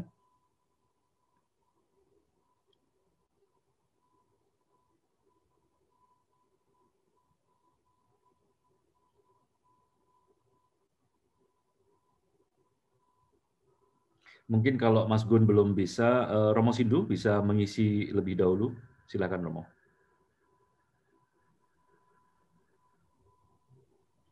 Ya, seharusnya ini dijawab Mas Gun, tetapi saya sekedar mendahului dulu. Ya. Tadi sudah banyak dikatakan oleh memberi contoh eh, Mas Gun mengenai eh, kemerdekaan yang dicita-citakan oleh sosialisme, bahkan oleh demokrasi, lebih-lebih oleh sosialisme, yang ber, uh, uh, marxisme dan sebagainya, akhirnya uh, buntu, terjungkir menjadi diktatur. Dan ini yang akhirnya membuat Adorno yang dulu sangat kagum terhadap marxisme sebelum dia menjadi ideologi yang begitu uh, kaku, itu lalu meninggalkannya. Gitu. Jadi memang tentu akhirnya kemerdekaan itu sendiri sesuatu yang memang harus terus diperjuangkan, maka sebenarnya Adorno dan Horkheimer lebih memakai kata emansipasi daripada kemerdekaan, pembebasan gitu ya. Pembebasan ini terus-menerus dari rejim sosialisme bahkan dari tindasan demokrasi sendiri di mana sebenarnya demokrasi sendiri juga apalagi kalau formal itu tidak menyangkut hakikatnya cuman sarana yang yang yang akhirnya kita sendiri tahu percobaannya kita kita alami di Indonesia ini. Dan Suara harus kita... Romo Sindu dan lain-lain tidak saya dengar ya, kurang jelas. Kenapa ya? Suara Mas Gun jelas sih. Suara Mas Gun jelas. Ya. Ya, mau lanjutkan Romo Sindu. Ya, ya, saya saya lanjutkan. Nah, karena itu saya saya membayangkan eh, tadi pertanyaannya justru kemerdekaan itu eh, lewat keindahan ataulah dalam keindahan kita menemukan kemerdekaan ini tentu saja salah satu alternatif yang memang di tengah segala macam tiadanya alternatif ini eh, menjadi peluang begitu loh.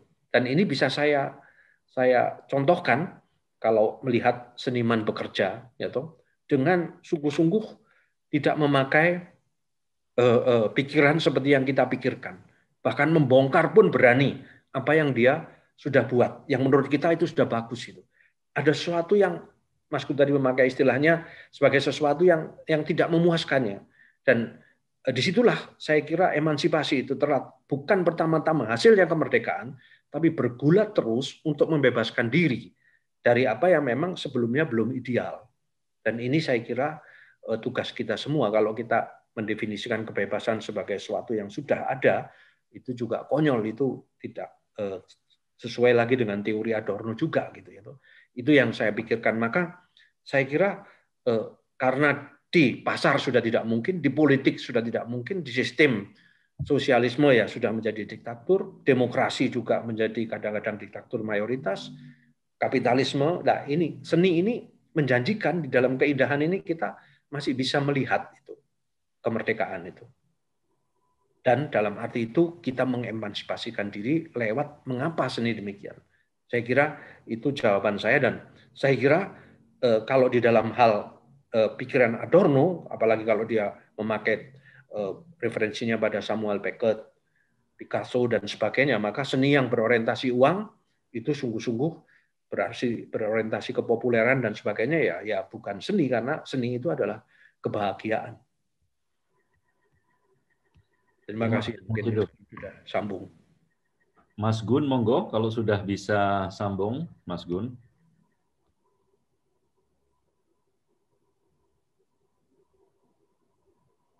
Bayang. Ya ini selalu ada problem teknis begini.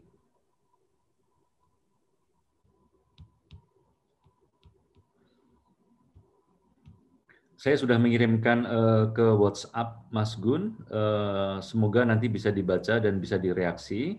Nah, sementara itu mungkin kita lanjutkan saja. Uh, ini terpaksa Romo Sindu ini yang menjawab gitu ya. Ada pertanyaan begini.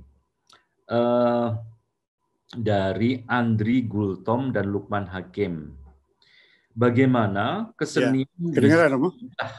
Mas Gun sudah bisa? Sudah kedengaran? Sudah kedengaran, ya sudah mengirimkan uh, ke WhatsApp Mas Bud, uh, nanti bisa dibaca dan bisa direaksi. Nah, sementara itu mungkin kita lanjutkan saja. Uh, ini terpaksa promosi dulu ya. Hmm, ya. Ada pertanyaan begini. Uh, dari Andri Bultom dan Lukman Hakim. Bagaimana Mas Gun silakan.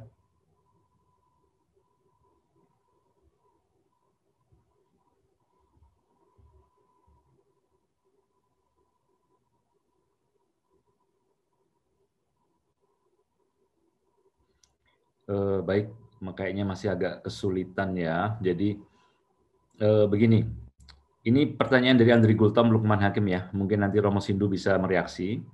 Bagaimana kesenian bisa memecah kebuntuan administra administrasi total akibat sistem modern? Apakah pelarangan Marxisme secara politik berdampak pada dunia seni Indonesia sekarang ini? Nah, jadi bagaimana seni bisa memecah eh, tadi itu ya modernisme pencerahan ya. Dan apakah eh, di Indonesia ini pelarangan marxisme itu berdampak pada dunia seni kita pada umumnya saat ini? Monggo Romo Sindu. Kita sambil menunggu Mas Gun supaya bisa terkoneksi dengan baik.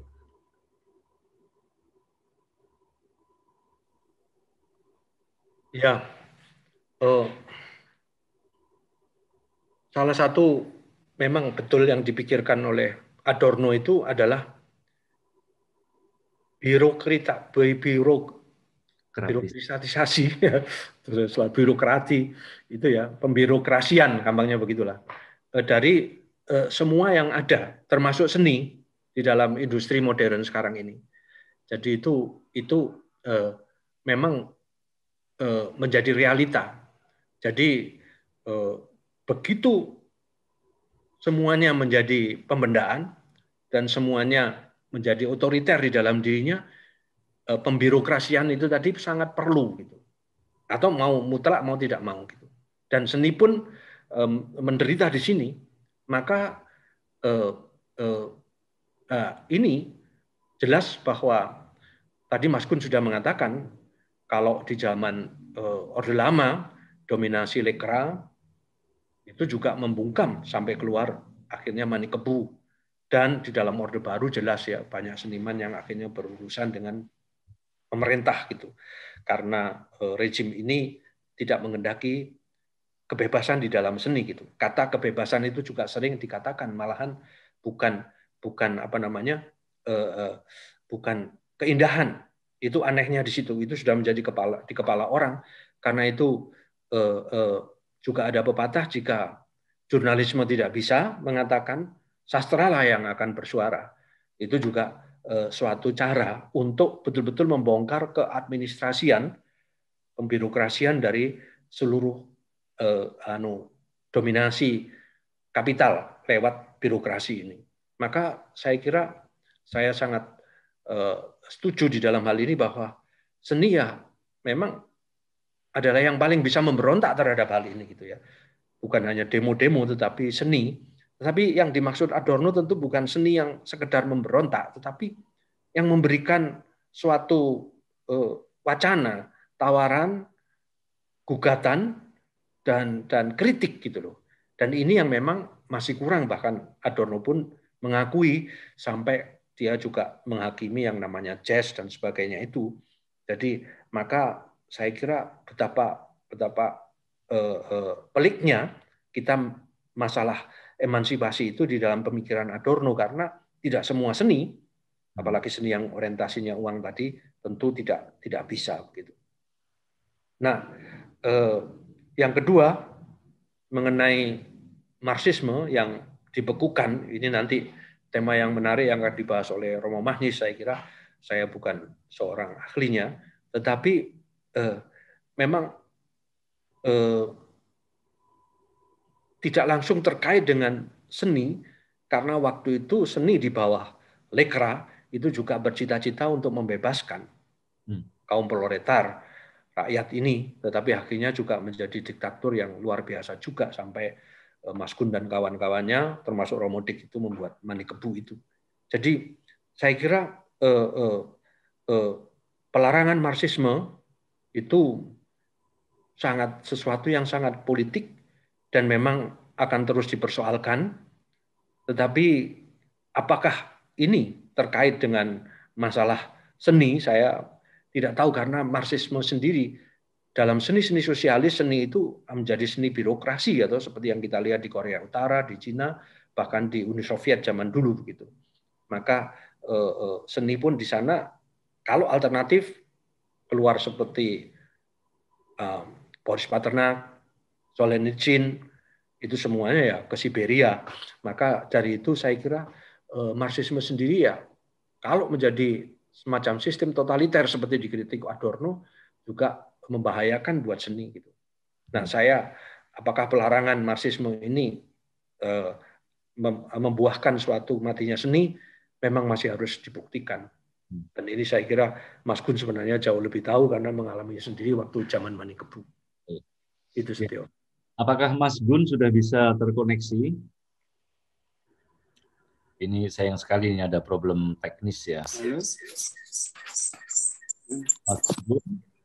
Nah, itu sudah keluar wajahnya. Nah, itu tuh. Uh, kedengaran nggak? Dengar. Dengaran, dengaran. Ya. Ya tadi sebetulnya dikatakan Romi Sido nggak perlu saya tambah. Cuma sebetulnya kan puncak dari ketidakbebasan itu di masa Stalin ya sebelum Stalin waktu ada apa enggak Rusia pada Eropa ada Mayakovsky dan lain itu kehidupan kesenian sangat bebas karena lepas dari sensorship uh, kerajaan Rusia. Kemudian setelah Stalin meninggal, tumbuh banyak kesenian yang menarik. Dulu waktu zaman uh, demokrasi terpimpin dengan dan kita nggak boleh nonton film Amerika. Kita hanya boleh nonton film dari Soviet maupun Cina. Tapi ada satu kesempatan yang diberikan oleh pusat-pusat kebudayaan Czechoslovakia, Finlandia, mutar film film yang bagus. Dengan kata lain selalu seperti kata selalu ada usaha pembebasan. Kalau dilihat itu hanya masa Stalin yang, yang sangat mendistorsi.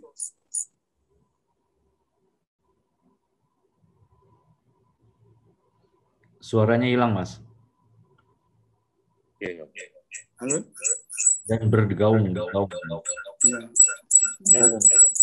Ada feedback kayaknya, Mas. Oke, Ya, sekarang udah bagian. ya jelas sekali. Ya.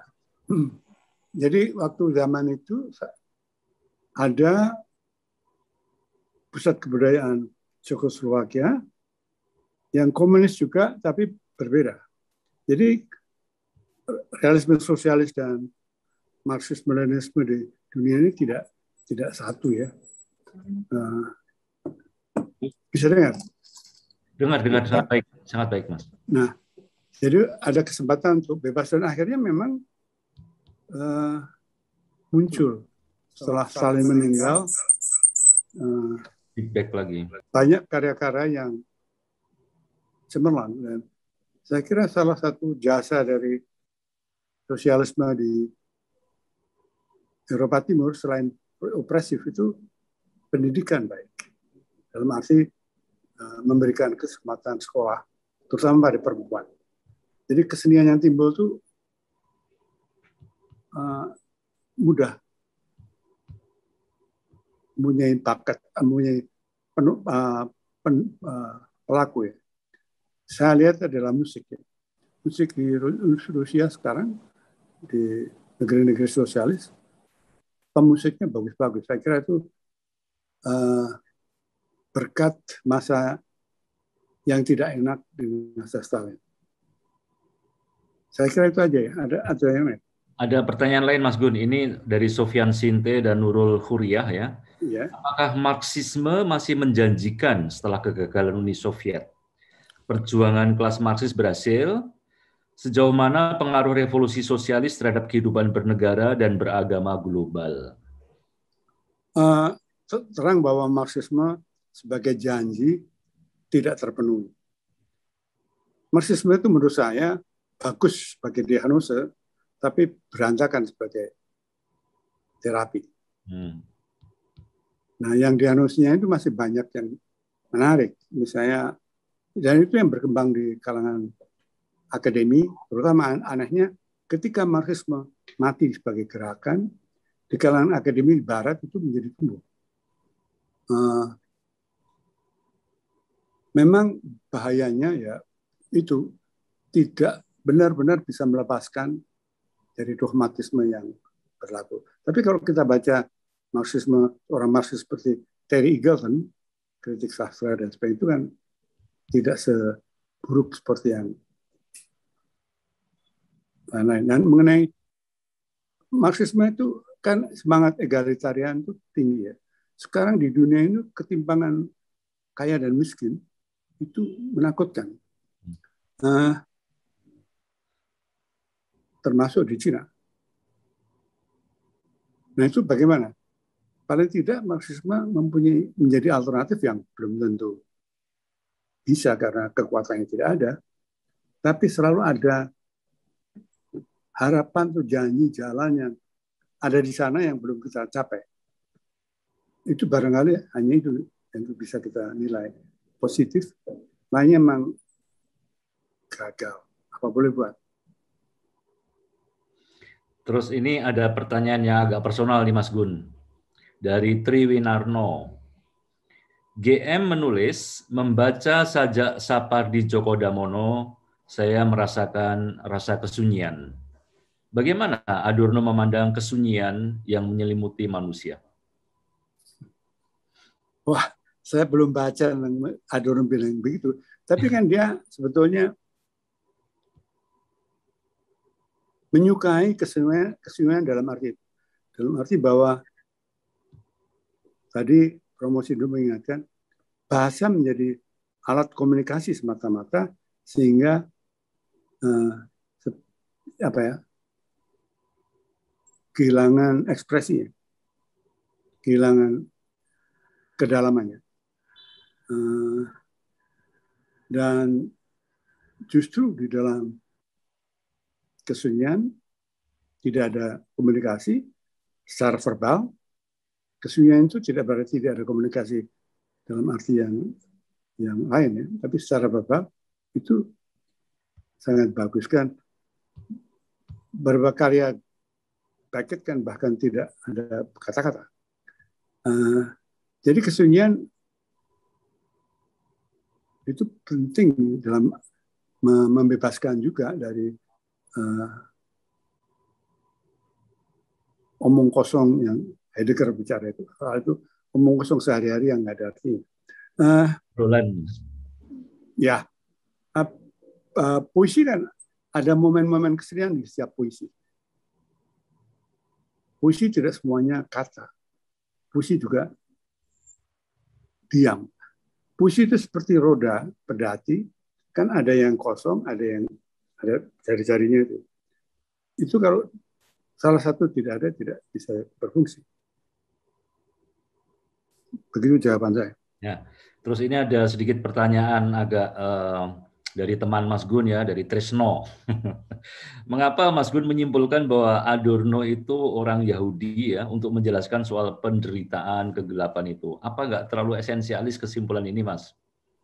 Uh, tidak, karena Yahudi tidak berarti menderita. Tapi Yahudi pada saat Adorno itu menderita. Yahudi di Israel sekarang membuat orang menderita malah. Uh, Jadi saya tidak esensialis. Kalau Trisno memang esensialis. Baik Mas, terus ini tadi ada pertanyaan yang penting yang tadi kelewatan karena ada problem teknis ya. Eh, Mas Gia mengatakan keindahan adalah kemerdekaan. Apa yang dimaksud dengan kemerdekaan? Karena keindahan semerdeka apa pun tetap tidak bebas nilai. Apakah seni itu semaunya seniman menurut Adorno? Lalu seni untuk siapa? Kebebasan seperti apa yang berkaitan erat dengan estetika dan etika. Seni untuk politik, seni untuk uang, layakkah disebut seni? Loh justru seni untuk politik, untuk uang tidak layak disebut seni. Kebebasan itu tadi yang Romo dulu jelas sekali mengatakan uh, apa ya bertujuan menjadi pamrih gitu. Ketika kita didominasi pamrih, yang nggak ada kebebasan. Dan ketika kita didominasi oleh rencana dan apa ya hasil yang diharapkan, kita tidak ada kebebasan. Karena itu salah satu produk dari kebebasan adalah tadi yang promosi dibilang chaos. Chaos karena kita takut pada chaos. Tapi Hairul Anwar pernah menulis dalam satu catatan yang kecil Seni itu dimulai dengan saat awal yang chaos dan berakhir dengan uh, kosmos, yaitu ketenangan. Dan saya kira ada seorang filosof baru uh, dewasa ini almarhum Deleuze yang membahas uh, karya-karya Francis Bacon berupa dari Inggris sebagai kosmos antara chaos dan kosmos antara chaos dan tidak chaos. Tapi chaos itu sangat penting dan itu yang yang yang tadi disebut bagus sekali oleh orang sini. Itu yang kita kebanyakan orang bicarakan seni takut. Karena itu harus diarahkan ini harus diawas begini awas begitu. Jangan dilarang ini jangan dilarang itu. Jadi pitutur. Orang senang sekali sama pitutur. Uh, takut pada kebebasan orang lain. Takut pada kebebasan diri sendiri. Itu aja ya. Terima kasih. Lalu ini ada pertanyaan mungkin uh, saya kira sekedar uh, minta diklarifikasi lebih lanjut ya, baik untuk uh, Mas GM maupun uh, Romo Sindu ya, tentang soal masa Frankfurt. Begini pertanyaannya. Apa yang salah dengan rasionalitas? sehingga masa Frankfurt mengkritiknya. Benarkah naluri dasar rasionalitas adalah menaklukkan? Lalu apakah seni tidak akan terjebak juga dalam rasionalitas? Bagaimana dengan keadaan kita sekarang di mana indera kita dikepung berbagai virtualitas yang sangat virtual? Adakah benang merah pemikiran Marx dan Adorno? Apakah membaca Adorno harus bebas interpretasi seperti membaca Nietzsche? Apakah Adorno mengajak kita keluar dari identitas supaya bisa masuk dalam kemerdekaan, kebahagiaan? Ya. Saya kira ini pertanyaan-pertanyaan eh, klarifikasi yang tadi sebetulnya sudah dengan sangat bagus diterangkan ya tapi mungkin saya kira baik kalau Mas Gun dan uh, Romo Sindu uh, memberi penegasan lagi. Silakan, Mas Gun. Saya, saya ingin menekankan lagi yang tadi disebut Romo Sindu selintas yaitu politik identitas. Sekarang ini politik identitas begitu kuat dan memang ini ada sejarahnya tidak jauh dari kolonialisme kalau di Indonesia. Uh, pemerintah kolonial itu kan administrasi ya, bagus. Jadi semua didaftar, semua diklasifikasi, semua diidentifikasi. Lalu ada masyarakat Indonesia dibagi timur asing, pribumi, Eropa. Itu identifikasi. Itu cara berpikir identitas dan itu menjebak. Dan akhirnya akibatnya berlarat-larat dan sangat destruktif. Kita kadang-kadang latah dan, dan tidak menggugat. Sebagai contoh ya, kita saya suka membuat contoh ya. Mudah-mudahan yang sudah pernah mendengar jangan bosan. Pengertian Jawa pengertian Jawa itu kan kalau kita di sekolah dulu di sekolah saya di Jawa Tengah itu Jawa ya harus diidentifikasikan dengan apa yang ada di Solo dan Jogja. Politik bahasa kolonial menunjuk masing-masing daerah uh, center of excellence dalam bahasa. Yang di Jawa Tengah adalah Solo dan Jogja. Akibatnya bahasa Tegal, bahasa Banyumas itu dianggap rendah. Nah itu akibat dari politik identitas dan identifikasi dan klasifikasi yang sangat disukai Belanda. Uh, Belanda itu kan kalau kita baca uh, Pramudia itu ada Pangemanan itu kan intel ya dan uh, dan itu klasifikasi di situ bukan main. Orang diklasifikasi apa saja. Uh, impulse atau passion untuk gairah untuk klasifikasi itu betul-betul gairah modern. Karena nggak mau ada chaos. Lalu ini yang orang lalu Jawa, Sunda, seolah nggak ada hibriditas, seolah tidak ada fluiditas, seolah yang dominan itu yang benar, yang jadi model. Saya selalu kasih contoh, Taman Mini Indonesia Indah, Orde Baru, itu mengulangi politik identitas dari Belanda kolonial. Sebagai contoh, kalau kita kembali kalau misalnya Anjung Sumatera Barat, ya Mentawai nggak ada, ya, ya Minangkabau, Jawa ya Jogja, Joglo, Rumah Kudus tidak ada. Uh, ini yang saya kira kita harus selalu dekonstruk, selalu gedor ya. Bahkan kita harus mempertanyakan dari mana pengertian suku. Hmm. Siapa yang menemukan suku? Kata ada satu studi antropologi orang Perancis, bahkan Batak itu bukan pilihan dari masyarakat yang tinggal di sana, identitas nama Batak. Itu diberikan oleh administrasi kolonial oleh antropolog. Nah, hal-hal ini harus kita bongkar lagi. Dan kalau kita bineka tunggal ika itu bukan seperti yang kita lihat sekarang. Baju baju Jawa, baju Madura, baju lalu baju orang Tionghoa gimana? Ya, baju orang tidak punya yang sekarang kalau anak-anak sekarang saya istri saya orang Sunda, anak saya orang apa? Bineka Tunggal Ika itu harus mengapresiasi the non-identity. Kalau tidak itu ya kembali pada uh, klasifikasi kolonial dan modernitas. Saya kira itu aja yang saya ingin tekankan. Terima kasih Mas Gun. Romo Sindu, monggo.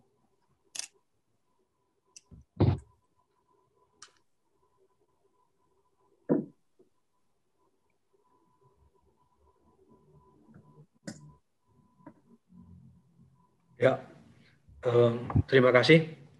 Pertanyaan mengenai rasionalitas itu sebenarnya apa? Tentu saja saya ingin menjawabnya dalam rangka pemikiran sekolah Frankfurt. Eh, yang diselidiki oleh Adorno dan Horkheimer itu tidak hanya rasionalitas pada zamannya, tapi dia bahkan sampai pada rasionalitas ketika manusia bergulat dengan mitos maka eh, baik dalam apa yang saya tulis, tetapi juga diuraikan dengan baik oleh Mas Gun dalam bukunya mengenai Odysseus. Itu suatu cerita pralambang pada zaman mitologi pun manusia sudah dibelenggu oleh rasionalitasnya. Jadi dia di, di maka pembebasan itu sejak awal bukan hanya sekarang saja gitu.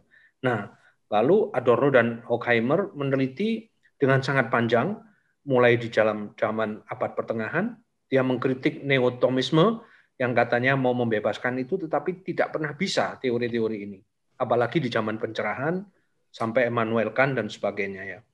Dan lalu dia mengatakan Eclipse of Reason itu bukunya dalam bahasa Inggris. Maksudnya terbenam saya terjemahkan terbenamnya akal budi objektif menjadi akal budi instrumentalis gitu. Jadi eh, sampai sekarang ini, dari dulu sampai sekarang, pergulatan manusia saya kira rasionalitasnya kalau saya mengerti dalam tafsiran saya adalah membebaskan diri supaya kita tidak menjadi instrumentalis gitu. Menjadi sesuatu yang memang eh, eh, bukan idealis tetapi yang yang objektif yang yang bisa betul-betul eh, menghargai sesuatu seperti sesuatunya bukan menurut saya dan itu saya instrumentalisasikan dalam pergaulan, dalam peradaban, dalam apa saja gitu. Jadi eh, inilah negatif dialektik yang dipikirkan Adorno sejauh saya menafsirkannya. Jadi kalau ditanya rasionalitas itu apa, sejarahnya itu betul-betul suatu sejarah pemikiran filsafat pun adalah suatu eh, apa belenggu akal budi objektif menjadi instrumentalis karena itu harus diemansipasi sampai Adorno mengeluarkan teori seni ini, kita jangan menginstrumenkan pikiran kita, tapi kita berpikir betul-betul membebaskan diri dari nilai instrumentalis ini dan melihat sesuatu secara lebih objektif gitu. Jadi itu saya kira definisi yang ingin saya bukan definisi nanti keliru lagi Mas Gun tidak suka kata ini saya juga tidak waktu maksudnya betul-betul eh, rasionalitas menurut Adorno berarti ya pembebasan rasio dari naluri instrumentalisnya. Nah, lalu eh, pada zaman virtual ini saya kira sudah banyak sekali eh, apa namanya pembahasan dan saya kira sangat relevan eh, teori Adorno ini dipakai karena betul-betul manusia sudah menjadi sangat virtual, dunia maya, tidak real lagi, dan ini betul-betul kita kalau memakai istilahnya Mas Gun bersenang-senang saja begitu loh. Seni tidak di situ. Itu itu uh, mengutipkan sesuatu itu tidak bisa. Artinya tidak adil terhadap mereka yang mati. Ini saya kutipkan dari kata-kata Mas Gun. Dan terhadap rasa sakit yang bertumpuk tanpa kata-kata. Kalau kita menjadi gembira seperti seperti sekarang ini gitu loh ya. Seni yang gembira dengan sinetron, dengan K-pop ini ya betul-betul tidak solider dengan pengalaman. Dan ini yang dilihat oleh eh, Walter Benjamin nantinya di dalam sampai dia mengatakan mengenai kita harus mempunyai memoria terhadap itu semua. Dan teologi pun belajar dari teori ini untuk betul-betul mengenang penderitaan dunia ini memang penuh penderitaan. Jadi seni jangan hanya eh, bersuka-suka gitu loh atau rasionalitas bersuka-suka. Lihatlah itu semuanya. Penderitaan bahkan termasuk korban dari sosialisme dan marxisme sendiri yang dilihat oleh Adorno. Itu Theo Terima kasih banyak Romo Sindu, Mas Gun. waktu sudah menunjukkan pukul 9.